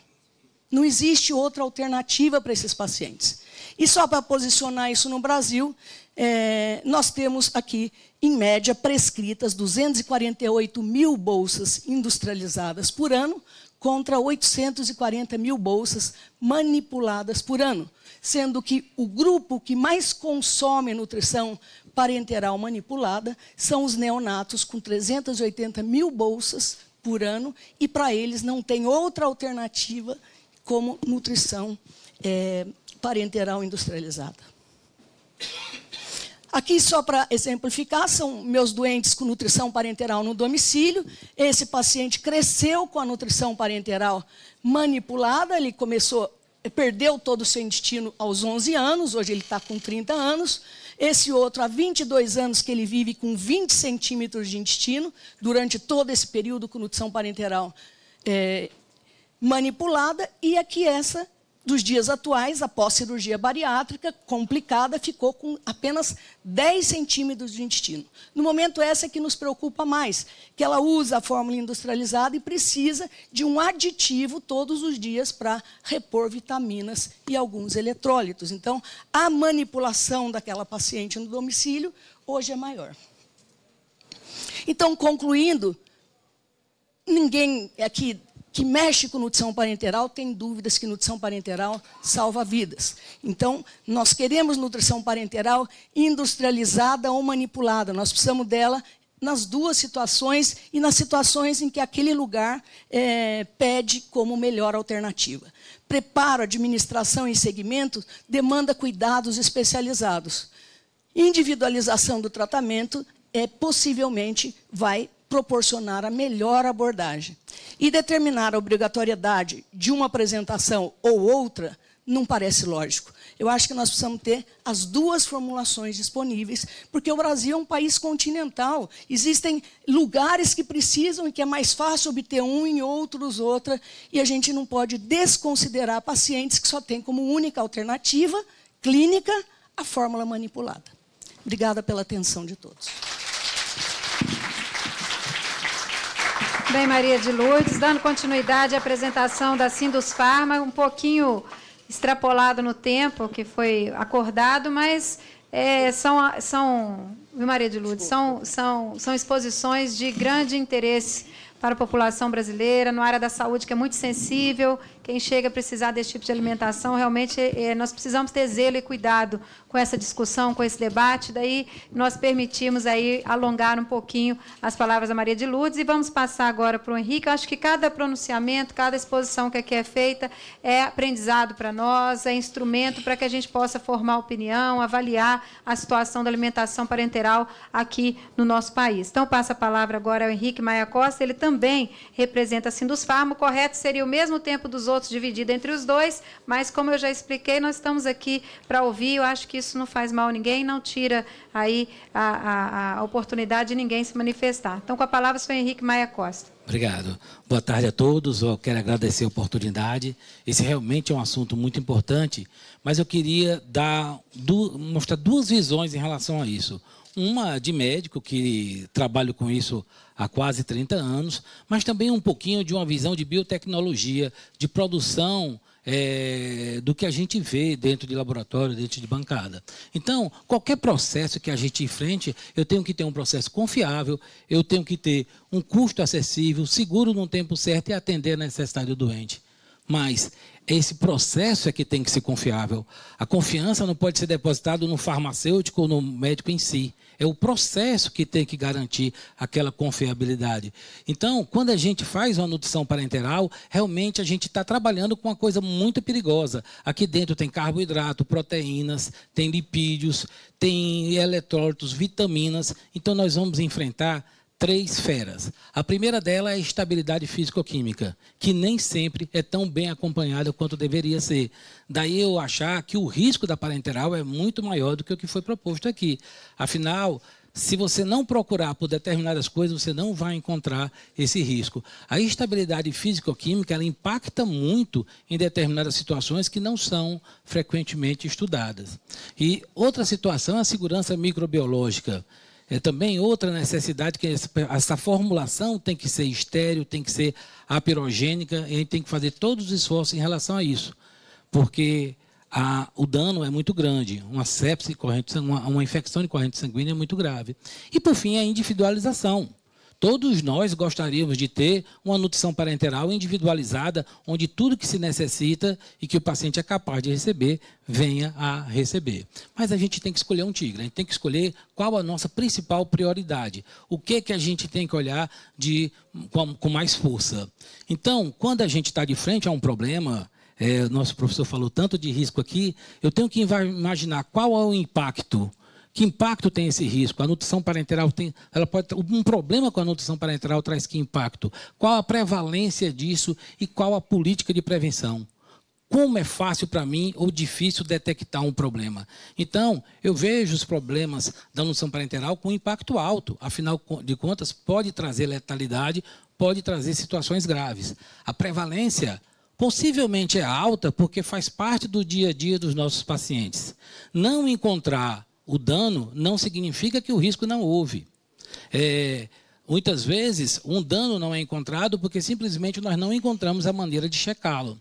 E existe pouca vigilância. A nossa normatização é forte, a nossa, nossa normatização é razoável, mas é, não é checado da maneira como deveria ser. É, por exemplo, se a gente acha importante contar o número de partículas dentro de uma sala e ela vai ser vista de seis em seis meses vai ser vista de uma maneira é, que facilita a, a, a, um, a, um, preparo melhor. Então, nós precisamos que essa coisa seja checada de uma maneira mais forte. Aqui a gente vê esse trabalho que foi lançado pelo Aspen, em 2015, mostrando os erros já na indicação e na administração. Eu não quero me deter nessa parte agora, É, mas existe uma diferença muito grande da visão do médico entre o aspecto clínico, a doença e o doente, e o aspecto do remédio. A gente conhece muito doente, mas conhece às vezes pouco o remédio. E isso às vezes traz conflitos importantes. Quando a gente é chamado para ver uma nutrição parenteral, um paciente que precisa de nutrição parenteral, vai ter uma hora que a gente vai sentar para fazer cálculos. E esses cálculos não podem é, se falar apenas das necessidades. A segurança aqui não é só microbiológica. É, eu preciso entender uma compatibilidade daquele elemento que vai ser colocado na veia do paciente. Determinadas incompatibilidades que não são vistas ao olho nu podem trazer prejuízo e podem não ser reconhecidas. Então, é, os cálculos que a gente usa são cálculos frágeis. Eles não levam em conta algumas alterações físicas que acontecem, por exemplo, no transporte, a temperatura, a maneira como foi colocado. As garantias são pessoais, não são garantias de processo. Então, quando a gente faz uma preparação, eu tenho que entender a segurança microbiológica e a segurança bioquímica. A legislação é forte, como a gente já mostrou, é, existe muita legislação em relação à sala, onde vai ser preparado, o que deve ser utilizado para manipular o paciente, mas essa realidade não é total. Se a gente diz que a grande vulnerabilidade da nutrição parenteral manipulada é o tempo, por que, que nem todo mundo tem um, um, um, equipamento que você registre a hora de uma maneira garantida, a hora que aquele é, que aquela bolsa foi fabricada. Como é que eu vou submeter a um transporte de longa distância se eu não tenho certeza que hora houve aquela manipulação? É o farmacêutico como pessoa, como gente que vai dar aquela garantia, o processo deveria garantir. Como é que a Anvisa pede para que a temperatura não exceda 20 graus e eu não uso um termômetro de pico quando eu faço esse transporte? Quem garante que em algum momento essa temperatura não passou de 20 graus? Então, é, essas garantias aqui, aqui eu tirei essa foto da internet de um manual de uma farmácia que eu acho muito bacana. Existem muitas farmácias boas no Brasil. Às vezes a diferença de um estado para outro, às vezes a diferença até na própria cidade. Então, é, esse Brasil enorme, existe diferença de posicionamento enquanto à qualidade. E isso ficou especialmente grave quando a gente começou a associar é, é, emulsão lipídica dentro desse composto. Quando a gente passou a utilizar dentro de uma bolsa só carboidrato, proteína, aminoácido e emulsão lipídica, nós começamos a vulnerabilizar esse paciente, porque na natureza a água não costuma se misturar com a gordura.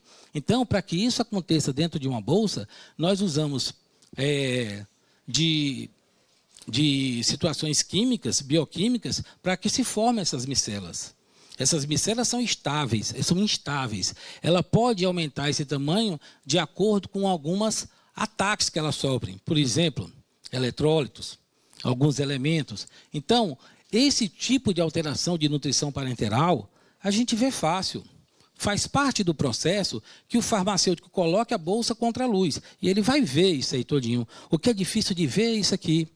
Nós hoje sabemos, todos nós sabemos, que a partir de 5 micras, essa, essa micela pode atacar nossos alvéolos. Quando a gente vai saber a diferença entre uma pneumonia e um ataque do alvéolo por conta de uma nutrição parenteral? Quando a gente vai saber a diferença que um rim sofreu uma lesão por conta de uma emulsão lipídica que aumentou o tamanho de suas micelas? Então, Para isso concluir. Aí... É? Uhum. Não, é porque me disseram que era 10 minutos, doutora. Quando eu vim para cá, de Fortaleza para cá, me avisaram que era 10 minutos. Eu, eu decorei. Né? É. Pronto, então vou só passar para frente então. Aqui mostrando o, o tamanho do aumento de uma micela por conta de uso apenas de glicose a 50%. Aqui mostrando um texto da, da própria Sociedade Brasileira de São Parenteral, enteral, onde tem, mostrando que há perda de eficácia da vitamina e há um ataque dos eletrólitos nessa solução. Isso é um acordo que isso só é bom comercialmente para quem faz e em termos de conforto para o médico que diminui o seu trabalho dentro da UTI. E ainda existem formulações de vitaminas que não compõem todas as vitaminas, trazendo graves problemas para pacientes. Então, a individualização, ela pode ser e deve ser feita, mas ela é muito cara. Aqui dizendo quantas bolsas a gente usa em dois hospitais para que a gente entenda o impacto financeiro disso aqui. E são hospitais que têm acreditação canadense diamante e nível 3. Então, nós não estamos fazendo nada, nenhuma aventura. Então, o impacto clínico nem sempre é igual ao impacto financeiro. Então, quando eu optei por isso aqui nos hospitais que a gente trabalha, a gente buscou estabilidade química testada e garantida por anos. Nós utilizamos um processo muito seguro que nós eliminamos o preparo, que é onde existe a maior situação crítica. Nós ficamos independentes, evitamos uma terceirização, tivemos uma compra programada, porque quando eu chego para a indústria e digo que eu vou comprar tantos em um ano, esse preço cai e eu atendo todas as novas vigentes. Obrigado, minha gente. Desculpem. Desculpe, doutor. Nada a desculpar. Seja muito bem-vindo. A sua contribuição muito importante para nós. Eu passo a palavra à última expositora agora dessa tarde. Logo após, nós vamos abrir a palavra para aqueles que estão participando conosco e já manifestaram interesse em, em falar aqui nessa audiência. Agora vai falar, então, Maria Rita Garbi de Carvalho Novaes, representante do Conselho Federal de Farmácia por 15 minutos, já vou falar antes, né? 15, né, Kátia? Que está acordado, que eu cheguei já estava tendo um acordo de procedimento vigente por 15 minutos. Cumprimento a deputada Flávia, os demais parlamentares, senhoras e senhores, boa tarde. Eu vou ser bem, a última tem a responsabilidade de dizer o que não foi dito até agora, né?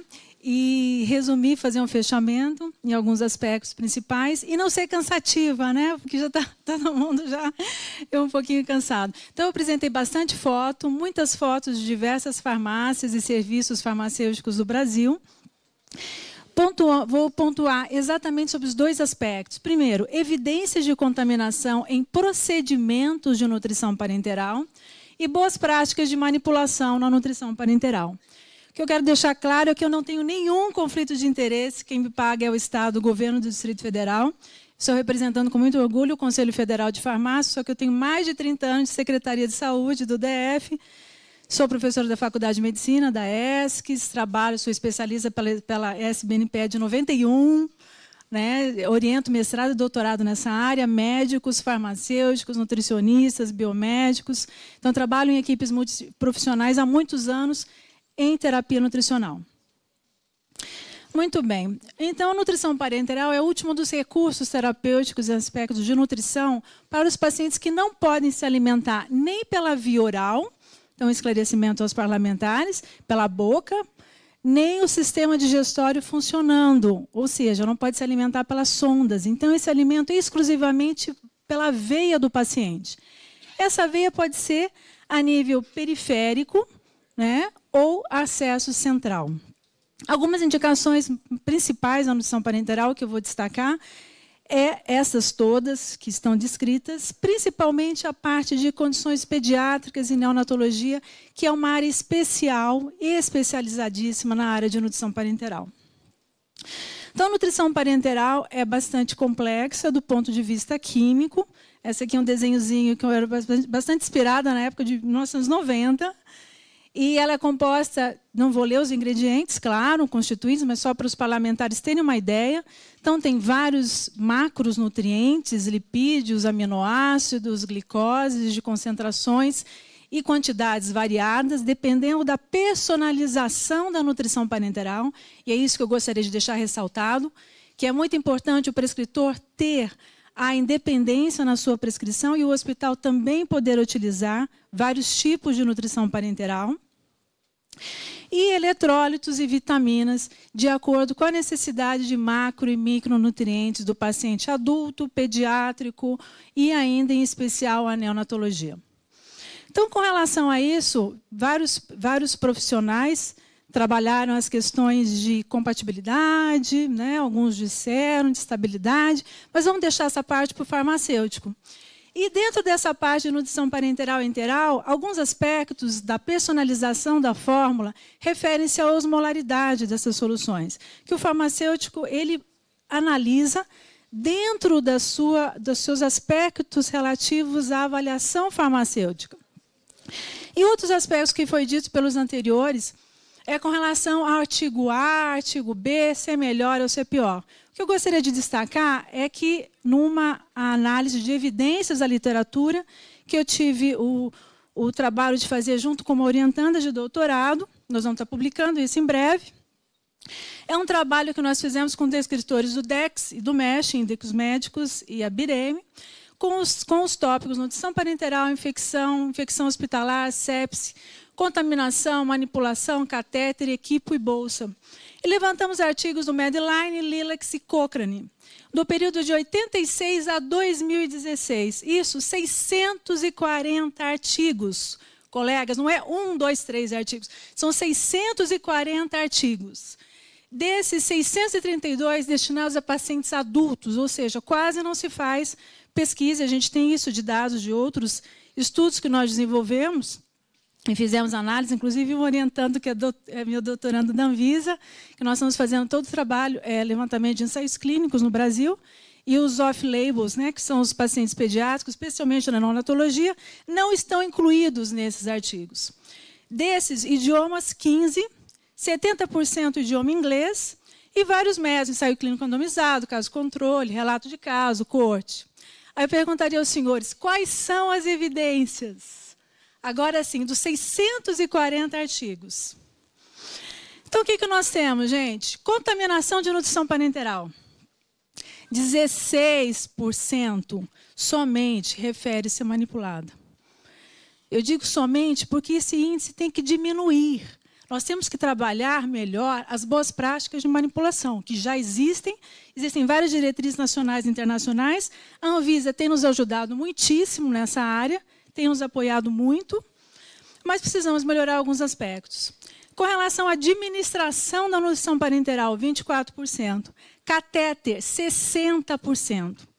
Então, o tema dessa audiência, deputada Flávia, precisa ser realmente pontuado. Eu parabenizo por chamar a sociedade a estar trabalhando isso, especialistas a estar pontuando esses dados baseados em evidências. Catéter, 60% desses coleta amostra de sangue pelo catéter, porque infelizmente é feito pela equipe de enfermagem, por necessidade, né? não tô, obviamente não estou criticando ninguém, é uma necessidade do hospital, do paciente. Administração de medicamentos pelo catéter, que não deveria ser feito, né? deveria ser feita uma, com supervisão do farmacêutico, dependendo da via, se for na nutrição parenteral ou fora da nutrição parenteral mas com supervisão do farmacêutico, pelo farmacêutico em condições assépticas, observando as questões de estabilidade química dos elementos, dos, dos, fármacos que estão sendo aditivados junto com os nutrientes. Tem muito problema de interação entre fármaco e nutrientes, isso deve ser avaliado pelo farmacêutico. Curativos e adesivos de catéter, infelizmente ocorre muita contaminação nesse sentido período de manutenção, porque infelizmente devido à falta de dinheiro, muitas vezes, de verba ou de aplicação do recurso público, tá, é utilizado por mais por um tempo maior os catéteres do que deveriam ser usados. E muitas vezes não são comprados os que deveriam. Por exemplo, situações duplo lumen, pique, entre outros, que dependendo da situação, deveria ser utilizado. Então, essas são as principais causas de contaminação. E os agentes etiológicos principais, Cândida, Staphylococcus, Epidermides, Aureus, entre outros, embora esses tenham maior prevalência né, dentro dessas contaminações. Então, a atuação do farmacêutico, nós temos na avaliação da prescrição, a manipulação, as técnicas assépticas, controle de qualidade, conservação e transporte. Que tudo isso, gente, é preconizado, sim.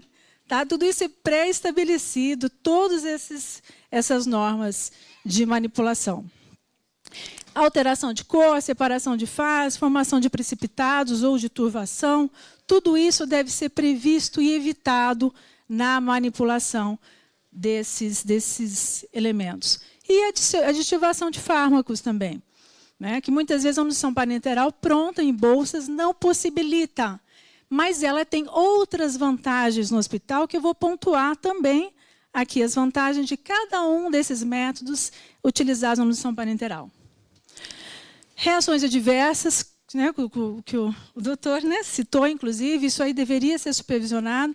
Tem gerência de risco no hospital, tem comissão de infecção hospitalar, do qual é uma equipe multiprofissional. Ressalto que é muito importante nessa área, de fato, a formação de uma equipe. A atuação está descrita no 272, deveriam ter carga horária dispensadas para essa finalidade, para que pudessem observar, entre outros problemas relacionados à noção parenteral, a possibilidade de reações adversas. Erros de medicação também, com bolsa ou sem bolsa pronta, ocorrem. Falhas humanas ocorrem. Boas práticas de fabricação, de rastreamento, de processo, procedimentos operacionais padrões. Tudo isso é previsto e deve ser aplicado para que sejam minimizadas ou extinguidas. Dentro das boas práticas de manipulação, então, nós temos várias resoluções, vários ISOs, várias questões relacionadas a controle de qualidade. Vou mostrar várias fotos do Brasil todo agora. Paramentação, existem uniformes, áreas limpas, uh, instrumentais e materiais devem ser desinfetados, é, esterilizados, apropriados para manipulação. Capela de fluxo horizontal ou vertical, dependendo do tipo de manipulação que você vai utilizar. Então, os deputados podem observar aqui o que é uma câmara de fluxo laminar, que retém até 0,2 micrômetros de diâmetro. Tá? Então, ele possibilita a, a produção, desde que trocados os filtros e pré-filtros, né, a possibilidade de um ar quase que estéreo. A gente não vai dizer estéreo, mas quase que estéreo na área de trabalho, obviamente associado a outros parâmetros de qualidade dentro de áreas limpas que eu estou absolutamente resumindo, que meu tempo está se esgotando. E é muito deselegante a gente passar o tempo. Fluxo horizontal, vertical é um outro tipo de modelo, dependendo da prática que você está utilizando, a manipulação. Para ilustrar métodos automatizados, temos vários aparelhos no mercado, com várias vantagens né, e desvantagens com relação a esses eletrólitos, que devem ser considerados. Bolsas prontas também, tem as suas vantagens e desvantagens. Principalmente como vantagem, eu destacaria num hospital que não tem uma área apropriada para a sua manipulação ou não terceiriza um serviço, né, que também é uma outra possibilidade. Então, você pode utilizar, sim, as bolsas prontas, tá? são estéreis. Não estou desmerecendo nem um pouco, muito pelo contrário, já trabalhei com essas bolsas. Só que ela tem uma limitação. Primeiro, macro e micronutrientes, principalmente para adulto. Segundo, não tem a quantidade de eletrólitos de vitaminas que o meu paciente muitas vezes precisa. E não me possibilita adicionar, porque isso não é correto adicionar na bolsa. Teria que ser por uma outra via. Tá? Acesso central, se fosse um cateto no mínimo de duplo lumen. Porque colocar, vocês já viram que colocar medicamento ou qualquer outra coisa dentro do cateter é uma das causas de contaminação elevada. Tá? Outra questão, neonatologia pacientes pediátricos off-labels, que estão ficando cada vez mais off-labels, se a gente padronizar de forma exclusiva a utilização de bolsas. Então, meus colegas, a gente tem que ficar muito atento a esse tipo de decisão, tá? porque isso influencia diretamente no bem-estar do paciente. Nós estamos aqui para defender a causa do paciente, em primeiro lugar. Outro isolador de fluxo, que é um outro método de preparo de nutrição parenteral. Então, tudo isso, gente, questão de micelas, tudo já foi extremamente estudado há mais de 20 anos. Microscopia eletrônica, meu, meu doutorado, meu pós-doutorado foi em cima dessa área também. Então, assim, isso aí já está assim, hiper determinado. A gente nem pesquisa mais isso, porque já foi ultrapassado, já foi tudo determinado. Então, o que a gente tem que fazer é cumprir sentar o bumbumzinho na cadeira e estudar, de fato, tudo que já foi feito e trabalhar principalmente, gente, com evidências. Tá? Manipulação, alguns pontos críticos de algumas farmácias, de colegas também, que têm trabalhado. A secretaria ela terceirizou o serviço, nós não estamos mais manipulando a nutrição parenteral, mas eu manipulei por mais de 20 anos. Técnicas acéticas de ativação de eletrólitos, são tudo isso muito bem controlado. Para quê? Para diminuir o risco aumento da segurança biológica, tá? risco de contaminação. Inspeção final e dispensação, também toda uma checagem para não trocar o paciente com o constituinte, né, com, a, com, com a composição que é complexa. Tudo isso deve ser avaliado. As bolsas de transporte com a temperatura, né, a, a, colocada, então isso tudo tem que ser também observado, principalmente pelas empresas prestadoras de bens e serviços, que também devem ser supervisionadas, tá? porque às vezes manipula numa outra cidade e vem horas de câmaras refrigeradas nesse transporte. Esse início e final da noção parenteral deve ser supervisionado, porque com lipídio deve ser manipulado num prazo de 24 horas. Isso já foi determinado. Se passar disso, vai haver aumento dos glóbulos de gordura e pode causar embolia no paciente. Então, isso tudo tem que ser supervisionado. Agora, estabelecido na literatura, isso já está. A validade, 4 a 8 graus, 24 horas, se for uma nutrição parenteral total, com macro e micro, e um dos macros, que é o lipídio. Né? Se for a nutrição parenteral parcial, sem lipídio, a validade é maior. Né? Então, dependendo das condições de armazenamento, o farmacêutico tem condições também de determinar essa validade à luz da legislação e da literatura vigente. Teste de esterilidade, muitas vezes é feita a retenção de amostras por até sete dias, que é uma, entre aspas, quarentena, além do prazo de validade. Considerações finais. O paciente em nutrição parenteral deve ser supervisionado por uma equipe multiprofissional, do qual o farmacêutico representa a minha classe, claro, né, deve estar presente. Nutrição parenteral deve ser personalizada e atender os pacientes adultos e pediátricos, inclusive os neonatos. Muito obrigada, esse é o meu contato.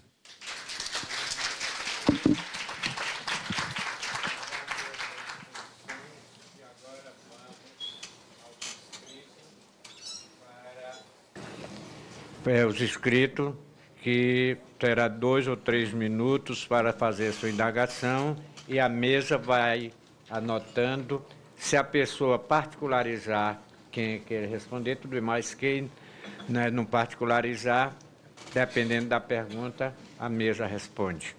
Então, a primeira escrito, os deputados que têm privilégio, mas você viu, eu já saí daqui três vezes, não foi para fazer outra coisa. É para primeira relação exterior com o ministro da, da, não sei da onde. Ali fui votar como a menina foi votar também. Aí o pessoal de lá disse que a gente não faz nada. O, o salário pode ser bom, mas aqui é de sete horas da manhã, às vezes vai até nove horas da noite, meia-noite, mas lá vamos deixar de conversar. Vamos lá. Valéria, Valéria,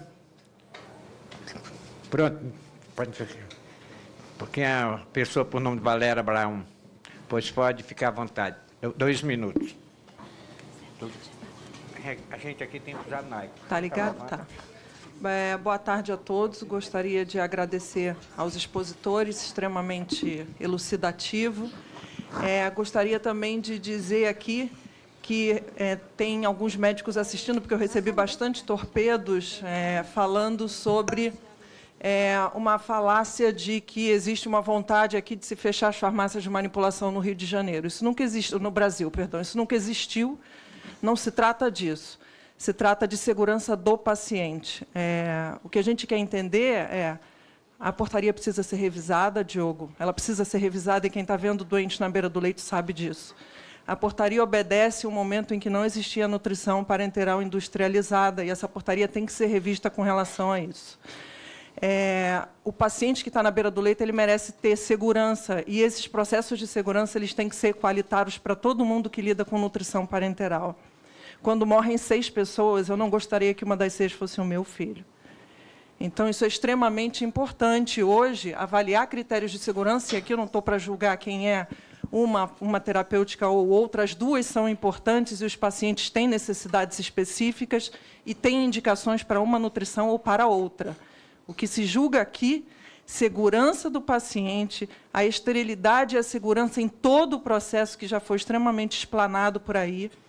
E o Rio de Janeiro tem uma situação particular na contaminação dessa que foi que a doutora Maria de Lourdes expôs, eu era presidente do capítulo Rio de Janeiro da sociedade, participei das câmaras técnicas. Nesse momento foi imposta uma quarentenização que durou 10 anos para essa nutrição, para tentar fazer com que essa nutrição fosse mais segura, ou que existisse um processo de controle microbiológico até a liberação de uma, de uma solução que é presumivelmente estéril. Então, isso é extremamente importante nesse processo, porque bebês morreram.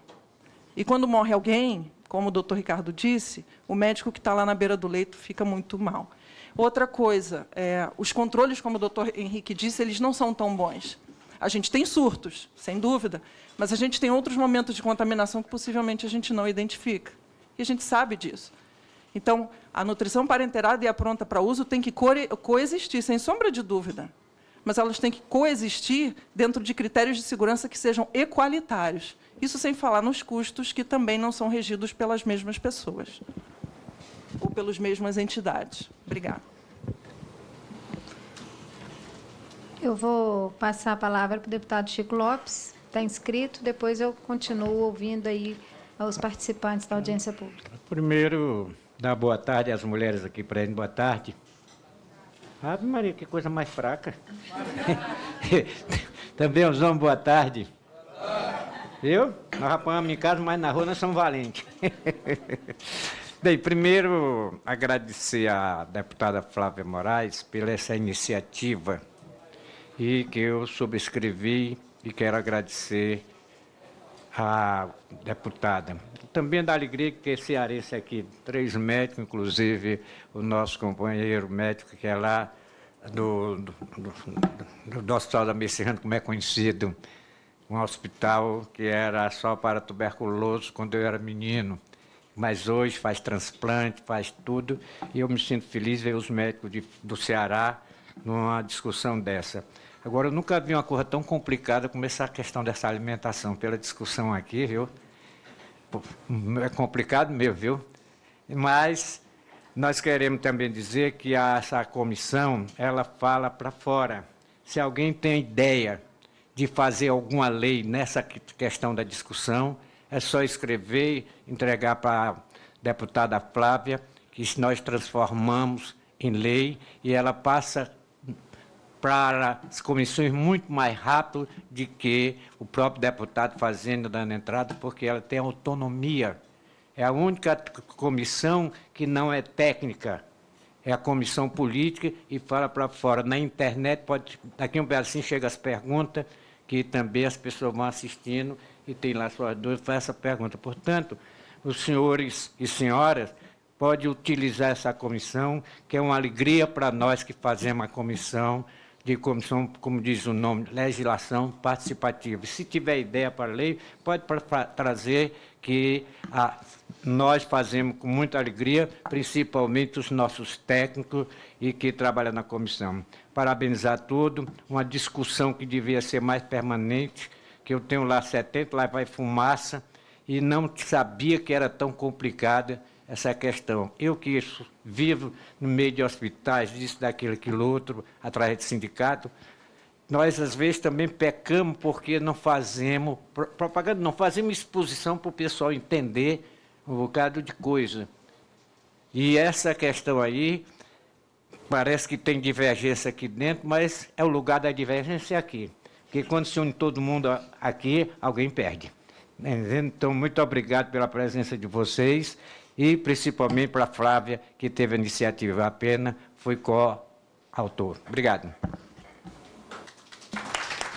Deputado Chico Lopes é o nosso vice-presidente, sempre presente, coautor do requerimento da realização dessa audiência pública. É um deputado apaixonado por essa comissão, justamente por essa característica diferenciada que ela tem, de poder acolher propostas de iniciativa popular, que aqui, através dessa comissão, viram projeto de lei e tramitam como qualquer outro projeto de lei apresentado por, por um deputado. Então, a força dessa comissão é muito grande no sentido de dar voz à sociedade. Então, todos que estão aqui são muito bem-vindos. A comissão está aberta para receber sugestões para que nós possamos tramitar como projeto de lei.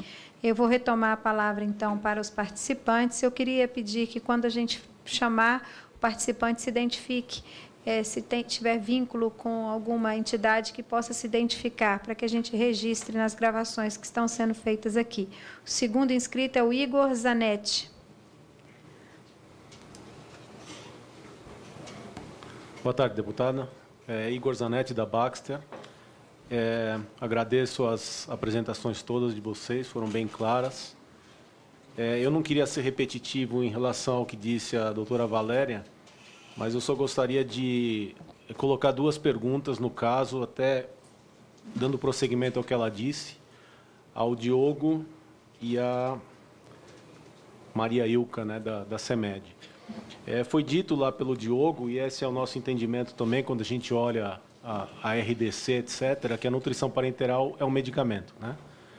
E foi exposto aí claramente é, todos os requisitos em termos de segurança, de qualidade, de esterilidade, de como é, é o nome? apirogenia né, desses, desses produtos, porque, afinal de contas, são infundidos na, no sistema venoso dos pacientes. Né? É, portanto, é um medicamento, tanto a manipulada quanto a pronta para uso. Eu gostaria de entender, então, do ponto de vista da Anvisa, se ambas as formas são é, medicamentos, por que existem critérios de qualidade, de esterilidade, de quarentena, etc., para as fórmulas prontas para uso e esses critérios não são exigidos nas manipuladas. Em analogia a isso, também para a CEMED, se são medicamentos, e a própria eh, Maria Ilka mencionou que ambos são medicamentos, porque as prontas para uso são reguladas em termos de preços pela CEMED e as manipuladas não são reguladas em termos de preço.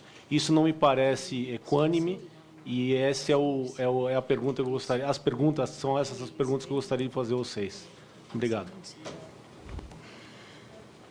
Obrigada. Eu queria pedir aos nossos expositores que, à medida que as perguntas forem sendo feitas, vocês vão registrando e depois a gente passa para cada um responder a todas de cada vez. Passa a palavra agora para Daniele. Eu não estou muito bem das vistas. Daniele Rossir. Falei certo? Rolim. Mas... Rolim. eu agradeço, mas então repetitiva foi dito. Obrigada. É, passa a palavra agora a Flávia Contim. Bom, é, eu também seria repetitiva nisso, nessas perguntas, que seria para o Diogo e para a Maria Ilka, mas eu só gostaria de retificar aqui aliás, de ratificar aqui que é, a segurança do paciente em primeiro lugar. Ah, existe, como a doutora Maria de Lourdes colocou, lugar para as duas formulações, tanto a manipulada quanto a pronta para uso. E principalmente no Brasil, que hoje a gente não tem fórmulas para pediatria e neonatologia, ambas são necessárias no Brasil. Mas a gente precisa de, uma, de um equilíbrio maior quando a gente olha em termos de é, regulamentação e quando a gente olha para a qualidade para essas e de preço também para essas formulações. Palavra Adriana Brandão. Deputada, ninguém está se identificando, a gente não sabe quem está tá falando. É, eu pediria que se identificasse. Ok, boa tarde. Eu sou Adriana Brandão, trabalho no marketing da é, empresa Bebrão. É, eu gostaria também de reforçar tudo que já foi dito aqui pelos colegas. Na verdade, eu acho que a discussão não é realmente quem, qual é a nutrição parenteral melhor ou mais indicada, se é a manipulada ou se é a bolsa pronta para uso. Nós entendemos, como profissionais da área de saúde, que ambas são necessárias na nossa prática clínica. Como a doutora Maria de Lourdes muito bem colocou, existem situações clínicas específicas, como na neonatologia, um grande obeso, que vão necessitar de uma fórmula mais especializada, mais direcionada para a necessidade clínica. E outras situações que nós podemos é, utilizar a bolsa pronta para uso. Então, eu acho que a, a discussão não é essa. Eu acho que a discussão é exatamente o que os colegas colocaram, que as exigências, as regulamentações, a precificação dos produtos, se são é, registrados e são tidos como medicamentos, por exemplo, eles devem re, é, ser regidos pelas mesmas normatizações, pelas mesmas regulamentações. Então, essa questão de preços devem ser é, exigidos da mesma forma e regulamentados pela CEMED. Se a bolsa pronta hoje para uso é regulamentada pelo governo, a bolsa manipulada também deveria, porque senão a gente tem discrepâncias no mercado e que aí realmente fica difícil de você trabalhar com ambas as é, situações, atendendo às necessidades clínicas específicas dos nossos pacientes. Tá? É isso, obrigada. Ótimo, eu queria agradecer a objetividade dos participantes. Nós vamos passar agora para o Ricardo César Oliveira. Boa tarde, eu sou o Ricardo da Nutromine, uma farmácia manipuladora de parenteral. É, eu, eu, gostaria de frisar alguns aspectos, não vou fazer nenhuma pergunta, mas primeiro é que é sabido que essas bolsas industrializadas, elas não contêm vitaminas nem oligoelementos, né? Então, esses itens são utilizados em quase 99% da, das formulações. E como que seria feito? A prescrição e a infusão seriam feitos de forma separada? Você voltaria para o mesmo, mesmo risco de fazer isso de uma forma asséptica, né? como era feito nos anos 70. Então, isso é um, é um ponto, né? Outro ponto é que a própria bula da bolsa industrializada fala que ela é para pacientes estáveis, né? Não para pacientes graves. Então, é uma bolsa de uso temporário, né? Então, o padrão internacional que se usa no mundo inteiro, a maioria dos casos, é, é são as bolsas manipuladas. O Brasil já, conforme o doutor Diogo apresentou, já tem uma, uma, uma legislação muito rígida, né? É, e esses casos de infecção são muito isolados e, e justamente vieram propriamente da indústria, não não foram ocasionados pela pelos serviços de manipulação. É basicamente isso. A palavra Michel Kifuri Filho. Por favor, se identifique. Boa tarde, eu sou Michel Kifuri Filho, sou especialista em terapia nutricional há 40 anos. Talvez eu tenha sido o primeiro farmacêutico a preparar nutrição parenteral no país. Fui um dos, dos pioneiros nessa área. Eu tenho uma larga experiência conhecendo toda a linha do tempo lá que o Ricardo apresentou. Participei ativamente da construção da portaria 272, representando o Sindus Pharma na época. E eu queria até fazer uma ressalva que a portaria 272 ela foi feita no seu anexo 2 para nutrição parenteral manipulada. Ela não inclui a nutrição parenteral industrializada, mesmo porque naquela época não existia com muita presença a nutrição parenteral industrializada. Então, não é que a portaria está desatualizada. Ela, ela atende um objetivo que é a nutrição parenteral manipulada. Uh, eu queria fazer uma parte à colocação da Valéria, que se mostrou pesarosa pela morte de seis crianças. E eu queria fazer um, um, um, ponto contrário, dizendo que eu preparo no meu serviço, ainda continuo preparando, depois de 40 anos de atividade, uh, parenteral para 200 a 300 crianças ou recém-nascidos todos os dias, e eu salvo a vida, ajudo a salvar a vida dessas crianças. Então, esse é um contraponto aos seis casos que ela citou como, como, como uma certa tragédia. Então, é o, isso é muito importante vocês dizerem que que, em, em, contraponto às mortes, existem centenas de, de, de pacientes, de crianças e de recém-nascidos que se beneficiam da terapia da nutrição parenteral manipulada. Obrigado. Claudete Jacixen. Não está ligado, não. Aperta. É, eu vinha é, a pedido do, do, presidente da Sociedade Brasileira de Nutrição Enteral e Parenteral, doutor José Eduardo Aguilar de Nascimento. É, a minha posição e a posição é, referida a ele, da necessidade de ambas formulações, é, o que eu posso é, contribuir dentro da, das colocações feitas é que, quando você individualiza uma nutrição parenteral, essa individualização ela é praticamente diária. Então, por isso que as nutrições parenterais manipuladas, na sua grande maioria, elas não podem usar os mesmos rigores quando é produzido em grande escala. Então, diariamente, é, as, as, formulações são é, manipuladas. E elas se, é, se caracterizam como formulações extemporâneas, por isso que elas têm um padrão diferenciado de controle de qualidade. A outra questão que eu senti em alguns debates foi é, o, o, o, risco que a manipulada apresenta. É, o farmacêutico, assim como o médico, como os demais profissionais da saúde, não ficaram à parte da tecnologia também dentro das, das, das, das, manipuladoras, nós usamos rigores, e não só de um farmacêutico, mas estudos feitos e, e, e é, sistemas de computadores e softwares que nos dão uma segurança muito maior do que quando nós criamos a portaria 198. Então, nós não ficamos à parte da tecnologia. Hoje, nós validamos os processos e, como já disse meu colega, a grande maioria dos eventos que ocorreram no Brasil e que geraram mortes foram causados por matérias-primas contaminadas. Então, não é só a manipulada que corre o risco da contaminação. A grande vantagem em relação à bolsa manipulada e à bolsa é, individualizada, que é uma solução extemporânea, é que a bolsa é, industrializada ela fica em quarentena e se espera os resultados. Mas hoje nós utilizamos métodos é, rápidos de controle de qualidade microbiológico, o que nos dá uma segurança muito grande em relação ao preparo.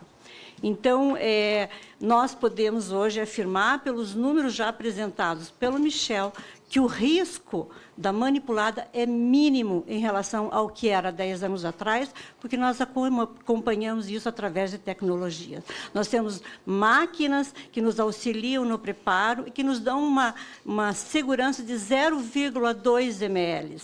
Então, não existe os mesmos riscos, como o Ricardo abordou na apresentação dele no decorrer de todos esses anos, que, ele, que são estudos feitos há anos atrás. Então, é isso que nós queríamos estar posicionando, é, colocando também o interesse dos hospitais no sentido de ter a escolha do que é melhor para o seu paciente, então não limitar a uma ou outra apresentação. Né?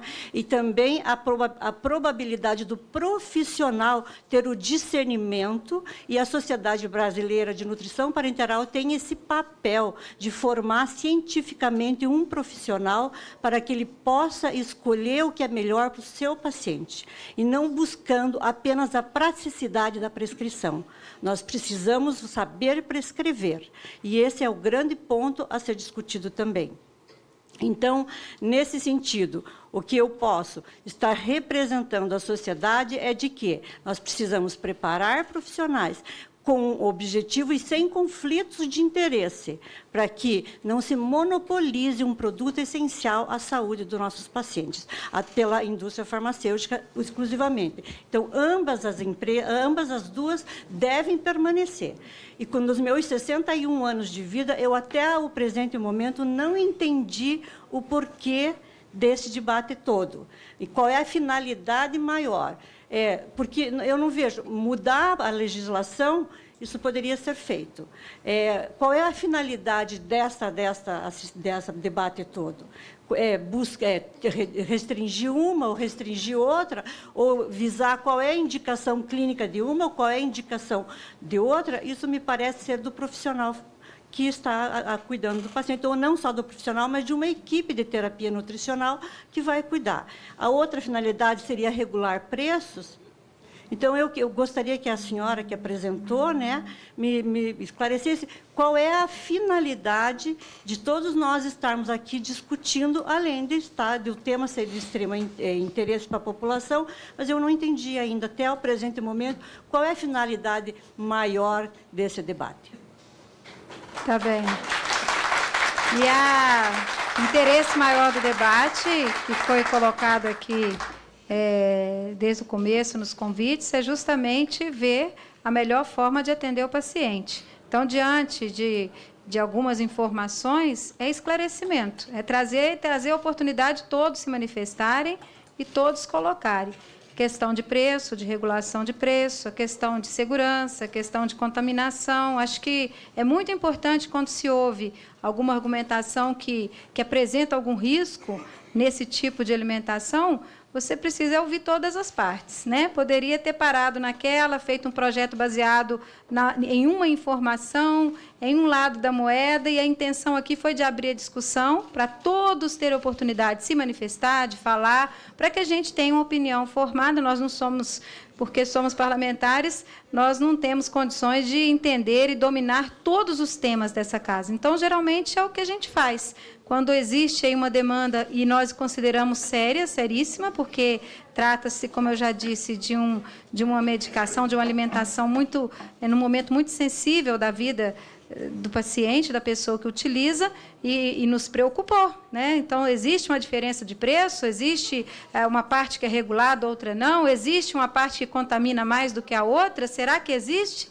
A gente não sabe. Por isso a gente trouxe aqui, né, com direito a todos de se manifestarem, de colocar as informações, com aqui os responsáveis institucionais também é, pelo controle disso, para que a gente possa formar opinião. Então, isso aqui é muito natural e comum nessa casa, né, quando a gente tem interesse de é, é, é ouvir a população, a sociedade, tirar, dirimir aí qualquer dúvida que tenha. Tá? Então, acho que o espaço é legítimo, a participação de vocês é legítima e, com certeza, os encaminhamentos que te, serão feitos a partir dessa audiência pública também serão legítimos. Agora, então, para contribuir conosco, Guilherme Teixeira de Araújo, que é do Núcleo de Terapia Interal e Parenteral.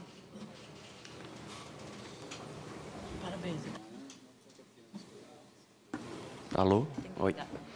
Boa tarde a todos. É, meu nome é Guilherme, sou médico nutrólogo pelo programa de residência médica da USP de Ribeirão Preto e, uh, e pela Associação Brasileira de Nutrologia. Sou mestre em clínica médica pela Faculdade de Medicina de Ribeirão Preto. Agradeço a palavra. A primeira coisa que me chama a atenção nessa comissão é a ausência de representar, de, da representatividade médica dos verdadeiros prescritores de nutrição parenteral. Apesar da brilhante apresentação do Dr. Rosenfeld, a AMI não é da competência do médico intensivista prescrever nutrição parenteral. Essa competência se deve ao médico nutrólogo, que deveria ser representada pela Associação Brasileira de Nutrologia ou pela ala médica da, Associa da Sociedade Brasileira de Nutrição Enteral Parenteral. Uh, gostaria de chamar a atenção também da da ausência da, da, apresentação de conflitos de interesse, a não ser da, da brilhante apresentação da doutora Maria Rita. Ah, diversos palestrantes aqui recebem alguns patrocínios de empresas de nutrição parental que contribuem para conflito de interesse para a explanação de suas, da, de suas partes. Em relação à maioria das coisas que eu ia falar, a brilhante apresentação da doutora Maria de Lourdes já disse mais ou menos tudo que eu, que eu pretendia comentar. Mas, se basear nos estudos que a gente tem hoje para uh, proibir ou regulamentar preços ou regimento de manipulação seria totalmente irresponsabilidade. Os estudos que a gente tem hoje são estudos retrospectivos. Esses estudos retrospectivos não tem função de, causa, de, de dar causalidade, sim, à associação. Nenhum deles, uh, nenhum dos, desses estudos ca, demonstram causalidade entre nutrição parenteral manipulada e infecção de corrente sanguínea. Como bem disse a doutora Maria de Lourdes, de fato, as bolsas prontas que a gente tem hoje, seja no Brasil ou seja fora do Brasil, não atende toda a complexidade de terapia nutricional que é necessária. A Suíça, que é um dos maiores países que utilizam prontas bolsas prontas para uso, elas só atendem 73% dos pacientes adultos e 14% dos pacientes pediátricos. Numa, num estudo que foi feito uh, nos Estados Unidos, que avaliou as bolsas prontas para uso, que seriam capazes de, de um, atender às prescrições manipuladas com uma variação de até 20%, enquanto na ciência a gente usa uma variação de 5%, somente 3,1% das bolsas abrangiram os três macronutrientes. Não estou falando que a bolsa pronta para uso é ruim, não, muito pelo contrário. Ela é muito importante em hospitais pequenos, em hospitais que não possuem médicos nutrólogos capacitados para prescrição de bolsas manipuladas, mas ela não consegue atender toda a população, principalmente populações que exigem demandas nutricionais específicas, como pacientes cardiopatas, pacientes nefropatas, pacientes hepatopatas e neonatos. Obrigado. Obrigado. Passo a palavra agora ao Fabiano Girardi Correia. Boa tarde. Uh, eu sou médico, sou diretor médico do Instituto Brasileiro de Nutrologia. Minha formação é residência em clínica médica, residência em terapia intensiva. Sou especialista pela MIB em medicina intensiva. Sou especialista pela SBNPE também, uh, na sua respectiva área. Primeiramente, gostaria de parabenizar a abertura nessa casa da gente ter a oportunidade de falar sobre terapia nutricional. É um assunto que, se fosse tratado aqui com maior frequência, com certeza os nossos pacientes teriam um desfecho muito melhor no nosso país.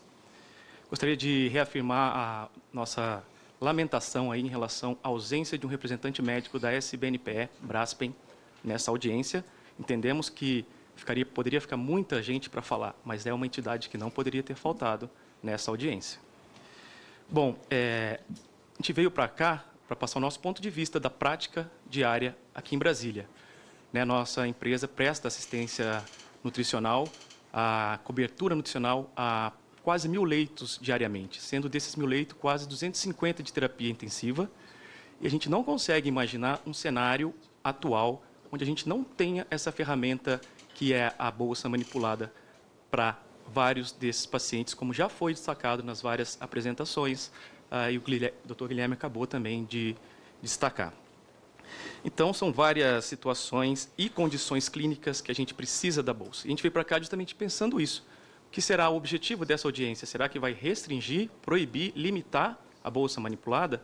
Estamos aliviados né, de saber que não é ah, esse o sentido pelo que todos estão comentando. Na verdade, discutir questões de segurança do paciente, e isso todos nós vamos ganhar bastante em relação a isso seja a questão de revisar a legislação ou de melhorar a fiscalização no nosso país. Talvez seja o ponto principal nós vamos estar bastante satisfeitos, sim, se isso acontecer, porque o nosso paciente vai ganhar em relação a isso. Então, a gente gostaria apenas de manifestar nossa preocupação de, da possibilidade de ter alguma restrição nessa arma terapêutica que a gente tem hoje, que já sabemos que é difícil a gente atingir a meta, as necessidades nutricionais do nosso paciente, com tudo que a gente tem hoje, por vários motivos. Se a gente tivesse ainda uh, um arsenal, um, uma ferramenta importante como a bolsa manipulada, retirada do nosso dia a dia, seria mais difícil ainda em várias situações de pacientes, principalmente pacientes críticos. Bom, em relação à fragilidade das evidências que foi a justificativa da sessão, pelo que eu pude ler, é, em relação à infecção, eu gostaria também de destacar a fragilidade das evidências da literatura. Né, os estudos realmente são muito frágeis, a gente pode, inclusive, pelo jeito terão outras audiências, destacar é, a fragilidade desses estudos, todas elas que não são poucas. Então, eu acho que a, discussão técnica deve continuar sim, que eu acho que é para isso que nós médicos estamos aqui, para dar nossa opinião técnica. Então, é, era isso que eu gostaria de reforçar. Muito obrigado. Obrigado, Guilherme. É bom a gente reforçar não existe, não, não existe embasando essa audiência pública um projeto de lei tramitando, mas diante da, da busca da comissão referente a esse tema. E se nós não debatermos aqui, não viermos aqui, de repente surge um projeto e que não tem o conhecimento que precisaria ter, que pode vir equivocado. Então, nós estamos aqui justamente antecipando qualquer mal entendimento em relação a necessidade de acompanhamento, de valoração desse tipo de alimentação. Então, a intenção aqui não é tirar nada, restringir nada, de, não existe nada aqui tramitando nesse sentido nesse momento. Mas é isso que eu coloquei. Pode haver, e por isso nós estamos aqui, como houve uma, uma, uma, apresentaram uma demanda, a gente achou interessante abrir, conversar, discutir, até para que a gente possa conhecer a realidade é, desse tipo de alimentação. Nesse momento que chegou, como a Comissão de Legislação Participativa ela não é temática, ela é, abre para todos os temas, né? então ela é uma comissão que traz, é, é, debate em vários temas, é difícil para nós conhecermos a todas as entidades que trabalham em cada tema.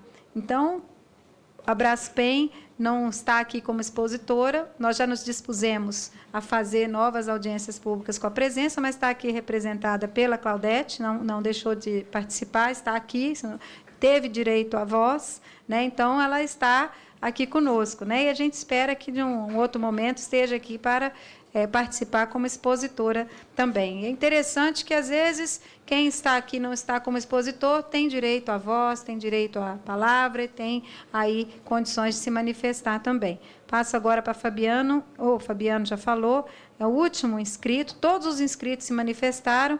É Denizar Ferreira, eu peço um pouquinho de, de objetividade, que logo após Dona Maria de Lourdes tem um voo e ela vai fazer as considerações finais antes de sair. Denizar Ferreira com a palavra. É, boa tarde, presidente. Boa tarde a todos. É muito, um prazer muito grande estar aqui. Eu vim aqui porque aqui em Brasília É, afortunadamente, eu sou o precursor e quem iniciou a prática da terapia nutricional de maneira organizada, na, maneira, na forma da, atualizada, que é a, a, equipe multidisciplinar de terapia nutricional. Então, nós temos experiência com, com nutrição parenteral desde 1995. Eu sou intensivista, titulado pela MIB, sou especialista em terapia nutricional pela SBNPE, sou nutrólogo pela Abram. Parabéns, Ricardo, somos amigos pela brilhante apresentação. Parabéns, doutora Maria de Lourdes, minha professora. Então, o que eu gostaria de dizer é rápido. É, na nossa prática, eu queria, gostaria de falar da prática clínica diária. É, notem que eu, eu, fiz 30 anos de terapia intensiva e, e é, prescrever a nutrição parenteral, é, nós aqui na nossa, no nosso trabalho, que eu sou sócio do Fabiano, somos a mesma empresa, é, nós temos os métodos de segurança todos aplicados. A, a nossa empresa ela é regida por protocolos, nós temos indicadores de qualidade, é, a, os fornecedores os quais nós usamos, eles são, todos são legalizados pela Anvisa e eles sofrem fiscalização. Então, o nosso protocolo, o nosso método de trabalhar, então eu queria deixar isso claro, é um método seguro, nós não temos problema com contaminação, com infecção, e a ferramenta é uma ferramenta muito importante. A, a, a, Sociedade Americana publicou um trabalho alguns anos atrás de um paciente que foi mantido vivo em nutrição parenteral, durante 29 anos. Né? E nós, no nosso serviço, utilizamos as duas bolsas. A bolsa pronta tem indicação, é claro, quando você precisa fazer de forma precoce no paciente, mas nós é, gostamos e apreciamos muito a resposta clínica que temos dos pacientes na bolsa individualizada. Então, eu queria deixar só registrada a minha opinião, porque eu, eu, a gente é formado, sou formado aqui em Brasília e, e nós é, fazemos uso dessa prática clínica na qualidade especialista, então há muito tempo, e queria agradecer a oportunidade. Muito obrigado. Encerrando a fase da manifestação dos participantes, nós temos aqui três é, é, é, participantes virtuais que mandaram aqui as perguntas. Eu vou fazê-las por leitura rápida. Os nossos expositores fiquem atentos, né? Porque aí a gente vai, é, depois vocês vão nos ajudar a responder. E eu já passo a palavra para Maria de Lourdes. A primeira participante do E-Democracia Romênia, ela diz boa tarde, pergunta aos deputados. Ela dirige a nós, mas eu acredito que, que não somos nós que vamos responder, não. O deputado Chico Lopes, que é uma pergunta técnica, e eu acredito que os nossos expositores vão nos ajudar. Como atender um paciente em diversas situações clínicas com a parenteral padrão, em que não atende às recomendações de vitaminas e eletrólitos, na presença de distúrbios ou em diversas situações como restrição hídrica, obeso e crítico e síndrome de realimentação? Essa é a pergunta dela. Haroldo Falcão fez a seguinte pergunta: Ambas fórmulas têm suas vantagens. Prontas para uso, atendem grande parte dos pacientes. Manipuladas, são úteis para populações especiais. Não seria mais efetivo capacitar a formação de. Aí ele usa um termo aqui, EMTNs, que eu, eu vocês. Equipe multidisciplinar dentro das normativas? Trata-se de um problema do instrumento ou do operador incapacitado? É a pergunta do Haroldo Falcão, que a gente deixa aí. Simone Silvestre, a última pergunta. Partindo da premissa que ambas são imprescindíveis na prática diária, pergunto: a industrializada é transportada da indústria até o hospital. A maior parte é fabricada no exterior. Há realmente uma superioridade tão marcante com relação a erros de armazenamento e transporte? Aí fica essa terceira pergunta. Alguns vieram, manifestaram sobre a participação de uma ou outra entidade, todas foram registradas pela assessoria. Na próxima da audiência pública, com certeza, essas que foram solicitadas também na rede virtual estarão sendo convidadas para participar conosco. Passo a palavra, então, agora para as considerações finais para a senhora Maria de Lourdes Silva, que representa aqui a Indusfar. Eu gostaria de agradecer a oportunidade e a forma imparcial e delicada que a presidente da comissão, é, deputada Flávia Moraes, dispensou a todos que estão presentes aqui. Então, eu acho que a forma como foi conduzida nos dá um, um retorno para casa muito mais tranquilos com relação à forma que vai ser adotada daqui para frente. Com relação à a, a, pergunta que foi feita, a primeira pergunta, como tratar é, necessidades individualizadas com fórmulas individualizadas. Né, pacientes é, com deficiências importantes, você só pode tratar com fórmulas individualizadas. Assim como a gente individualiza dose, às vezes, de remédios, isso é uma prática é, habitual do médico, adaptar a sua prescrição à condição clínica do doente, peso, idade e, e dessa forma. Então, agradeço muito a, a participação aqui, deputada. Ok, Maria de Lourdes. Passo a palavra agora para o Diogo Penha Soares. Ele é gerente geral de tecnologia, serviços, saúde, agência, agência, na, da Agência Nacional de Vigilância Sanitária, da Anvisa. Eu vou pedir licença em nome da senhora Maria de Lourdes para que ela possa é, se dirigir para o seu voo, porque ela está com horário em cima, tá? Obrigado. É, os nossos nomes são grandes e as siglas são piores ainda, então não, tem problema. Uh, eu fiz várias anotações aqui eu não vou seguir a ordem porque eu vou fazer uma ordem minha lógica aqui. Vou começar pela a, a, posicionamento da Flávia, da Baxter, é, com relação à segurança paciente em primeiro lugar. Nós, o, pelo menos o, o, meu, eu posso garantir, o meu e da equipe que trabalha comigo lá na, na gerência geral, o nosso sobrenome é segurança paciente tudo que a gente faz, ela tem a, a, essa finalidade. As, as regras colocadas, os requisitos impostos, nossos, as nossas ações de regulação, de controle, de monitoramento, de fiscalização, elas sempre são voltadas exatamente para a segurança do paciente. É, a questão é que o próprio conceito da OMS de segurança do paciente, ela traz que é reduzir ao máximo, na verdade, reduzir a um mínimo aceitável o dano desnecessário. Ou seja, a gente, mesmo a segurança do paciente, a gente sabe que a gente nunca vai conseguir zerar tudo, que erros vão acontecer, que danos vão acontecer e a verdade, a cultura de segurança significa você aprender com um erro para evitar um próximo. É, e assim evoluir o seu sistema. Ah, e aí eu passo então para a questão da que a Valéria da Baxter também colocou, com relação à revisão, uma necessidade de revisão de norma. A gente está sempre buscando, de fato, a evolução dos sistemas. E a gente sabe que normas elas ficam ultrapassadas, a regulação está sempre correndo atrás da tecnologia. A gente está vendo agora, está tá tendo está é, tá saindo na mídia o, o, o, terror dos laboratórios, que é o, uma maquinazinha que você bota uma gotinha de sangue e ela te responde tudo. Né?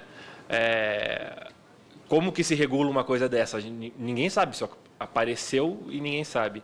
Uma coisa que a, que a regulação ainda prescinde, e aí não é nem a regulação só de serviço de saúde, não é só a regulação sanitária, é toda a regulação. É uma coisa chamada monitoramento do horizonte tecnológico. Ou seja, é você ter instrumentos e capacidades para conseguir, com base nos estudos e nas evidências que vão surgindo, captar tendências e se antecipar aos impactos delas. Hoje a gente ainda não tem capacidade de fazer isso. Então, hoje, como é que a gente faz uma revisão normativa? A gente ou identifica, ou alguém identifica para a gente uma necessidade. No nosso modelo que a gente rodou, a gente não identificou, com base nos dados que chegam à Anvisa, a necessidade de uma revisão normativa nesse sentido.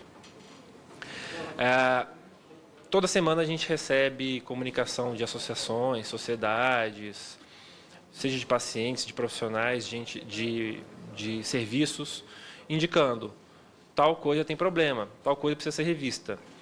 E isso tudo é considerado. O próprio, o própria formação, as duas práticas de regulação da Anvisa consideram isso. A gente teve, no começo do ano, a construção da agenda regulatória, na verdade, a, a consulta setorial para que toda a sociedade, qualquer pessoa, independente de de profissão, a pessoa na sua casa, por si só, poderia entrar na consulta setorial e falar: a Anvisa precisa fazer tal coisa.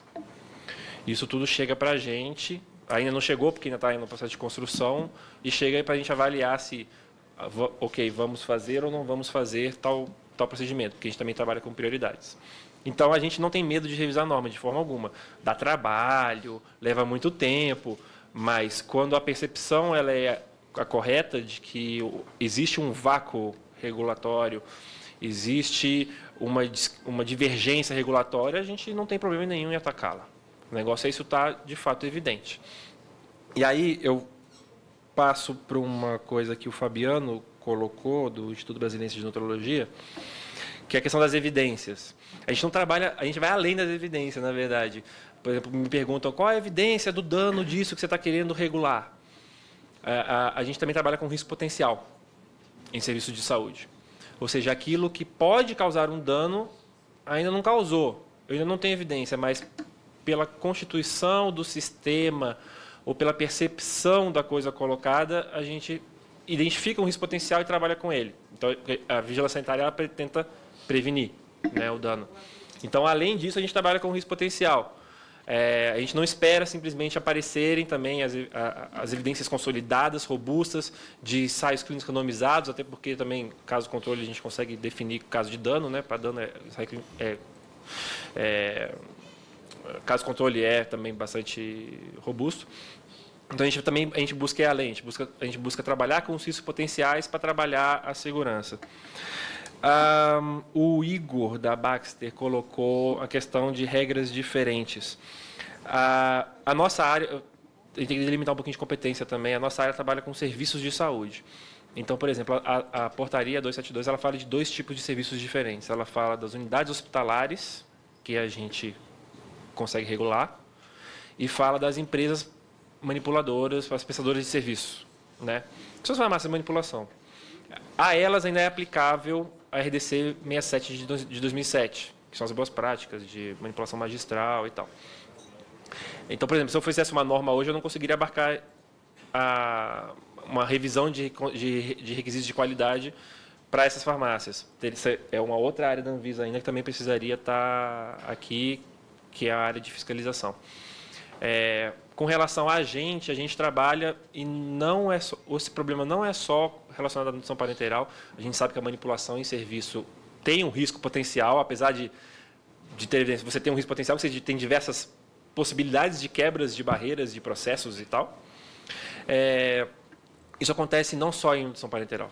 Isso acontece em manipulação de quimioterápico, isso acontece com produção em loco de oxigênio, isso acontece com métodos in-house em laboratórios clínicos, isso acontece com esterilização de produtos.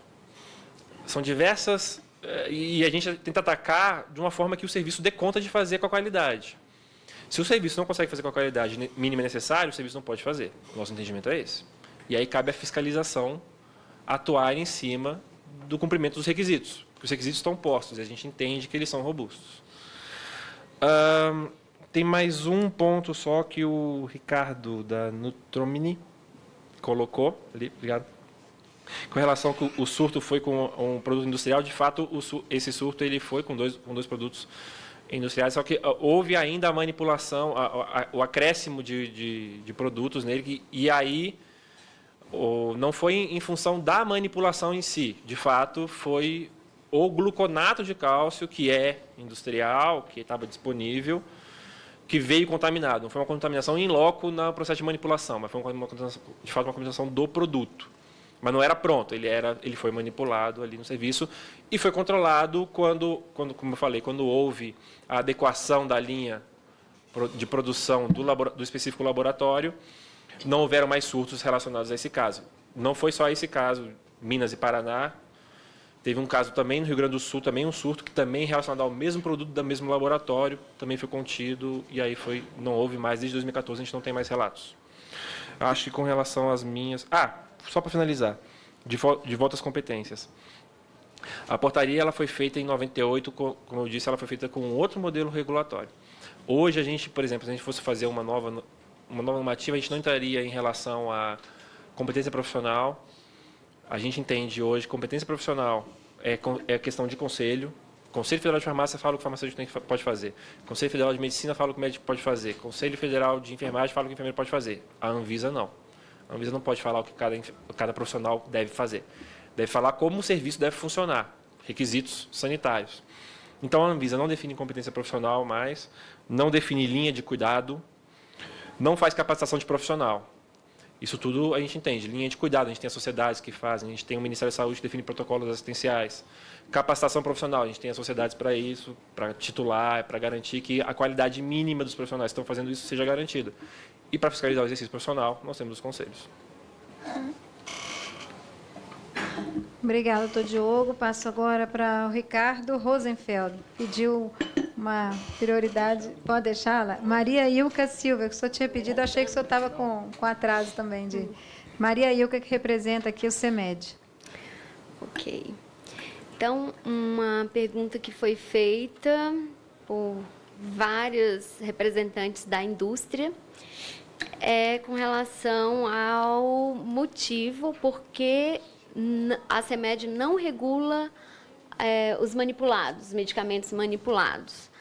Bom, é, o Diogo falou aqui que sobrenome da Gerência Geral de Tecnologia e Serviço de Saúde é segurança. E o sobrenome da CEMED é acesso. É, a, e, e, ela atua sempre em defesa dos interesses do, dos consumidores. Às vezes, ela esbarra em algumas limitações que podem ser legais, como todo órgão da administração, só pode atuar de acordo com o que está é, escrito na norma, e pode acontecer também algumas limitações técnicas. Com relação aos, a essa limitação legal, até hoje, a CEMED sempre, toda a legislação da CEMED é voltada para a regulação de mercado dos medicamentos industrializados. É, esse tema até novo para a CEMED, falar em, em regular medicamentos, soluções magistrais, medicamentos manipulados. Nunca se pensou nisso. É, e a legislação é toda voltada para regular os medicamentos industrializados. Existe alguma limitação? Ah, obrigada. Existe alguma limitação técnica? Muito provável que haja, porque hoje a CEMED, como eu falei, regula o preço, o mercado de mais de 25 mil apresentações de medicamentos industrializados. Quantas Quanto representaria esse número se a gente fosse regular as soluções é, magistrais? Porque elas são individualizadas. Né? Para cada prescrição é feita uma. É, é, é manipulado um tipo de produto. Imagine um órgão pequeno que é representado por uma área minúscula na Anvisa regulando o preço de milhares de prescrições médicas que são feitas. Ainda não se pensou nisso, mas acredito que haja alguma, né? Pode ser que haja. É, mas é, é, um assunto que a gente pode levar, como eu disse, é inédito esse assunto para a CEMED, a gente pode levar para as instâncias decisórias e aprofundar mais esse debate, né? De repente existe um, uma forma de fazer isso, porque não existem só ah, os medicamentos de nutrição é, parenteral que são manipulados. Né? Tô, existem uma série de outras substâncias que podem ser manipuladas numa farmácia de manipulação. Então, a CEMED teria que ver o impacto disso e a viabilidade técnica, além da legal, claro. Mas isso a gente pode, a gente está aberto ao debate e à busca de soluções, se houver necessidade. Sempre, como eu falei, é, com foco no acesso, com foco na defesa dos interesses dos consumidores, do, né, dos usuários de medicamentos.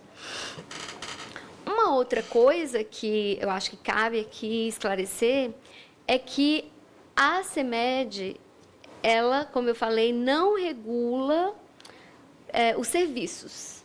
E um hospital, ele presta serviços. Ele não é um comerciante, ele não comercializa medicamentos.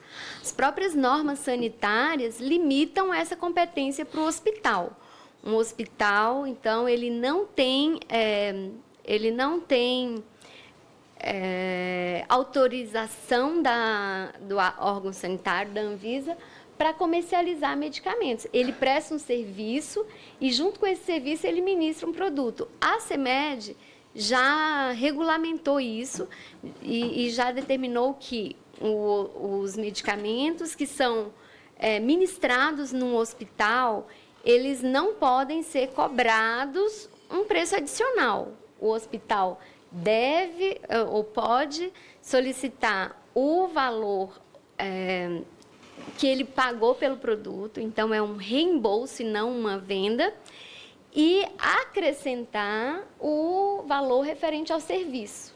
Então, acredito que seja essa a situação que ocorre numa manipulação no hospital. Ele não cobra pelo produto porque ele não pode comercializar. Mas ele vai cobrar pelo serviço de manipulação do produto. Isso já está regulamentado pela CEMED. As outras questões com relação a passar a regular o preço de soluções magistrais, a gente precisa debater mais a fundo. Mas a CEMED está à disposição e a gente se coloca para outras audiências públicas, para reuniões com, a, com a, as empresas interessadas e com as farmácias de manipulação, se for necessário. A CEMED está de portas abertas para manter esse diálogo. Obrigada. Ok, obrigada, Maria Ilka. Maria Rita pediu para falar agora que ela tem que dar uma aula daqui a pouco. Nós vamos passar a palavra para ela, ela vai ser bem objetiva.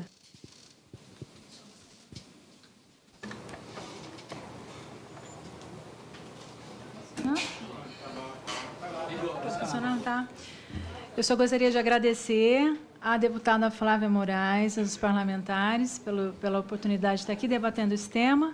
Agradecer a oportunidade de compartilhar a mesa com os demais expositores, foi muito gratificante estar aqui. E me colocar à disposição para discutir esse tema em outros momentos. Muito obrigada e, com licença, eu tenho compromisso agora às 18h30 e vou ter que me ausentar. Ah, obrigada pela presença, Maria Rita. Passa a palavra para o Ricardo Rosenfeld. Tá, eu vou fazer a resposta, porque, como foi citado o nome da AMIB e o meu nome em particular, sobre por que, eu estou aqui, eu vou responder para o Guilherme diretamente. É, existem hoje é, os pacientes em uso de nutrição parenteral em grande número dentro da terapia intensiva. Talvez seja o lugar que mais se usa nutrição parenteral no ambiente hospitalar. Talvez competam, competam um pouquinho com os pacientes cirúrgicos. E risco e benefício é uma coisa muito importante. Nós sabemos hoje que a maioria dos uh, produtos que estão sendo usados dentro da terapia intensiva estão prontos para uso. Assim como a nutrição parenteral também pode ser pronta para uso. E se discute muito, inclusive, se o paciente crítico deve usar nutrição parenteral. Deve usar nutrição parenteral. Então, essa discussão da nutrição parenteral vai muito além de qual a sociedade que está aqui. A MIB tem uma importância enorme no crescimento do conhecimento em nutrição parenteral e enteral no Brasil. Fui presidente da Sociedade Brasileira, eu sei o quanto a MIB colaborou. A MIB eh, tem especialistas e é uma das, uma das especialidades que pode fazer a prova de título em nutrição parenteral e enteral. Então, eu diria, a sociedade que tem que estar aqui são aquelas que têm grande representatividade, diria que tem mais intensivista fazendo nutrição parenteral, especialista em nutrição parenteral do que nutrólogos e com muito mais capacidade, porque sabem o que é terapia intensiva. Terapia intensiva não é para amador. Terapia intensiva tem um conhecimento enorme hoje, não só clínico, mas de tecnologia e de risco e benefício. Nós estamos trabalhando no limite da vida. E a nutrição parenteral é uma solução, seja pronta para uso ou manipulada, que pode trazer um grande risco ao paciente grave. Qualquer pessoa que tenha o um mínimo de notório saber eu, graças a Deus, sem falsa modéstia, porque eu não preciso mais com a minha idade, eu digo que eu tenho notório saber. Onde é que estavam as pessoas aqui na década de 80, quando se discutia nutrição parenteral com 13 ou 20 aminoácidos?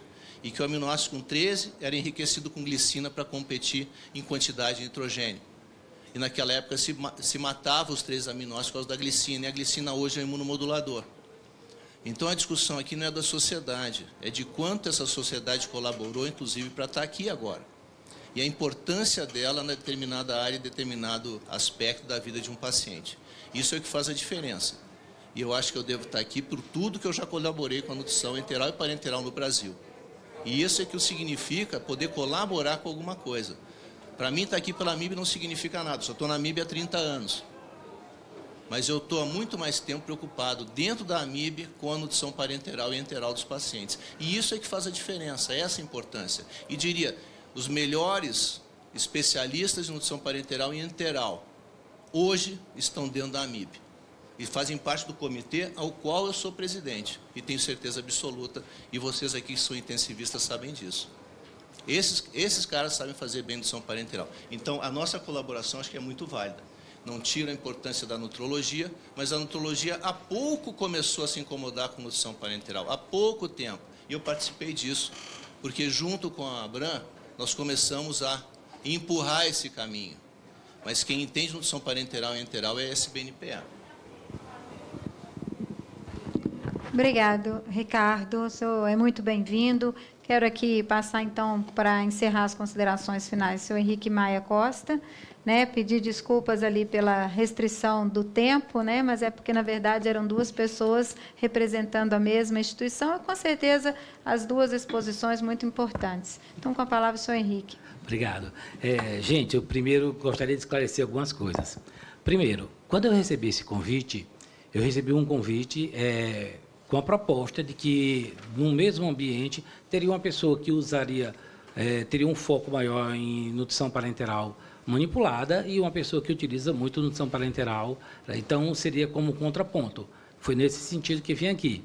Sou especialista em terapia nutricional pela SNPE desde antes da Abram, então, quando eu fiz a prova, nem tinha essa divisão ainda. Sobre conflito de interesse, eu passo o dia ou com o paciente ou com o aluno. Eu nem aceito viagem, porque, como eu sou responsável por três MTNs, eu não aceito nem que uma empresa me patrocine uma viagem. É uma coisa minha. E quem que puder averiguar isso, né? Então, é, segunda coisa, eu acho que não tem nem cabimento falar sobre acabar com manipulada. Nem existe como é que vai ser para criança. Ah, o que eu imagino é que eu conheço, eu no dia 5 estarei em Rondônia, é, sexta-feira estarei em Natal, eu rodo muito em dando aula em pós-graduações, especializadas. Eu conheço, eu vejo os serviços. E os senhores não pensem que o que vocês fazem é igual no Brasil inteiro. Eu cansei de dizer aqui, eu tive cuidado de mostrar fotos de manipuladoras que eu considero formidáveis, mas entenda, doutores, às vezes você não tem a garantia nem de que horas aquela coisa foi pronta. Se os senhores quiserem, eu mostro rótulos escritos a caneta. Se os senhores quiserem, eu mostro os eventos sentinelas que eu sou responsável a responder como consultor que é, mostra que o processo é inseguro diante de uma coisa tão grave que é a nutrição parenteral. Então, é, no meu objetivo foi entender que as normas precisam ser melhoradas em principalmente dois pontos: proteger a emulsão lipídica e a questão de armazenamento e transporte. Para mim, isso precisa ser reavaliado. Uma coisa importante sobre vitaminas. Às vezes eu acho essa questão, porque veja, por que, que a indústria não usa vitamina dentro da bolsa? Porque em estudos chegou-se à conclusão de que aquela vitamina pode perder sua eficácia. E isso está escrito, inclusive, no DITEM, que é a nossa diretriz, que é de 2011, mas está lá escrito. Em 2005 foi, feito, foi publicado um trabalho no Critical Care, que, um, avaliando com métodos muito eficazes a, a eficiência da vitamina dentro da bolsa. Uma vitamina ela é muito instável, ela pode perder aquela ligação dupla. Então, é, eu quero que se entenda que os contextos são vários. Esse país é enorme e eu ando numa faixa bem específica e não considero o processo seguro. Eu considero o processo, em muitas situações, insegura. É, por exemplo, se uma empresa ganha uma licitação para entregar uma bolsa em uma determinada cidade, e a gente vê, eu percebo, eu vejo a hora que a bolsa é entregue, eu vejo a hora que ela chega na cidade, porque eu estou lá como consultor da, da, Secretaria de Saúde, e vejo a hora que ela é aplicada. Aí o jurídico diz assim para mim, você não tem como provar que passou mais do que 48 horas. Gente, isso aí em neonatologia, isso aí em pediatria. Então, é, eu acho que está na hora dessa coisa ser revista. É, manipulações que às vezes obedecem prescrições que são difíceis de entender. Hoje o paciente tem 100 mil equivalentes de sódio na bolsa, amanhã ele tem 160, no outro dia ele volta para 120. Então, por mais que os senhores achem isso difícil, porque é, está aqui o que há de melhor, mas o país é enorme e eu, eu comecei dizendo, vou mostrar minha visão de um médico nordestino que anda por muitos lugares. Obrigado. Obrigada, Henrique Maia Costa. Eu quero aqui, é, Elisa Mota também se manifestou, perguntando onde que eu estava no começo da reunião. Na verdade, hoje é um dia de muitas comissões e nós temos que correr muito aqui. Nós tivemos hoje um projeto tramitando na Comissão do Idoso, que, a meu, a meu ver, muito grave, a relatoria nossa pela rejeição e, infelizmente, uma manobra enorme para a rejeição do meu relatório. Eu tive que estar lá para a gente conseguir pedir o nominal. Nós tivemos que ir atrás de deputado e quase que eles conseguem derrubar o meu relatório. Mas, no final, conseguiu ser aprovado. Até para, para deixar aqui bem claro, eles querem, o projeto previa que o idoso deixe 100% da sua aposentadoria é, nas entidades que ele é, está abrigado. Né? E a nossa preocupação grande, de acordo até com a orientação do Conselho Nacional, é que ele tenha, hoje a lei fala em 70%, que ele tenha 30% de autonomia, porque esse recurso que fica na entidade é para o custeio, né, alimentação, pagamento das contas de energia, de água, e se ele deixa o 100% ali, ele fica sem autonomia nenhuma, para se ele precisar de, de uma outra coisa que a entidade não tem. Então, é uma garantia da autonomia do idoso. Se a gente derruba, tinha um voto em separado, então, obrigando ou permitindo que a entidade fique com 100%, para nós é, é, um projeto de extrema relevância, nós nos preocupamos muito. Às vezes, um momento desse, a gente deixa passar uma matéria que poderia trazer aí um, um prejuízo muito grande à vida de milhares de idosos no nosso país. Então, eu peço desculpas, nosso atraso. Eu tenho certeza que o deputado Nali, que conduziu no início dessa reunião, não estava prevista essa, essa, essa essa disputa lá nessa comissão nesse momento. A gente achou que passaria tranquilamente, até porque tinha um acordo, mas na hora eles não, estavam cumprindo, eu tive que ficar lá para fazer valer.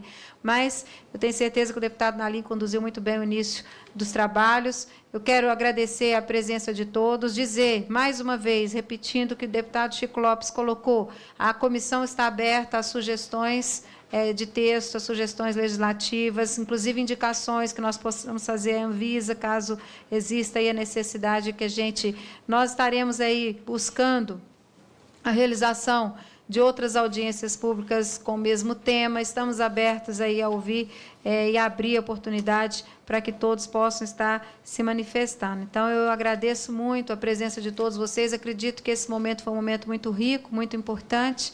Aqui não se trata de de, de é, se posicionar a favor de um tipo de alimentação, contra outro de forma nenhuma, é simplesmente garantir a segurança dessa alimentação ao paciente.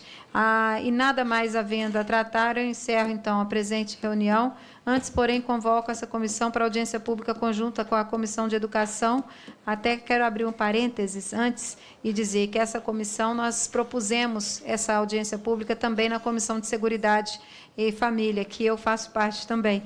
E na, eles não conseguiram coincidir a data de hoje, mas com certeza o que foi dito aqui está gravado, vai ser transcrito. Tem uma assessora nossa, Adriana, que vai fazer um relatório sobre é, o que foi falado aqui e tudo será transmitido para os membros. Viu, Adriana? Faz favor de montar aí o nosso relatório e encaminhar a cada um dos membros da Comissão de Seguridade. Essa audiência também foi filmada e tudo aqui dito com certeza será registrado e é, utilizado em momentos posteriores. Então, amanhã, sessão conjunta com a Comissão de Educação, dia 6 de julho, às 9h30, no plenário 10, para de debater as alterações na composição do Fórum Nacional de Educação, é, suas atribuições e a convocação da terceira Conferência Nacional de Educação, CONAI. Então, já é um tema na área da educação, mas, como eu disse, essa comissão ela trabalha é, em todos os temas.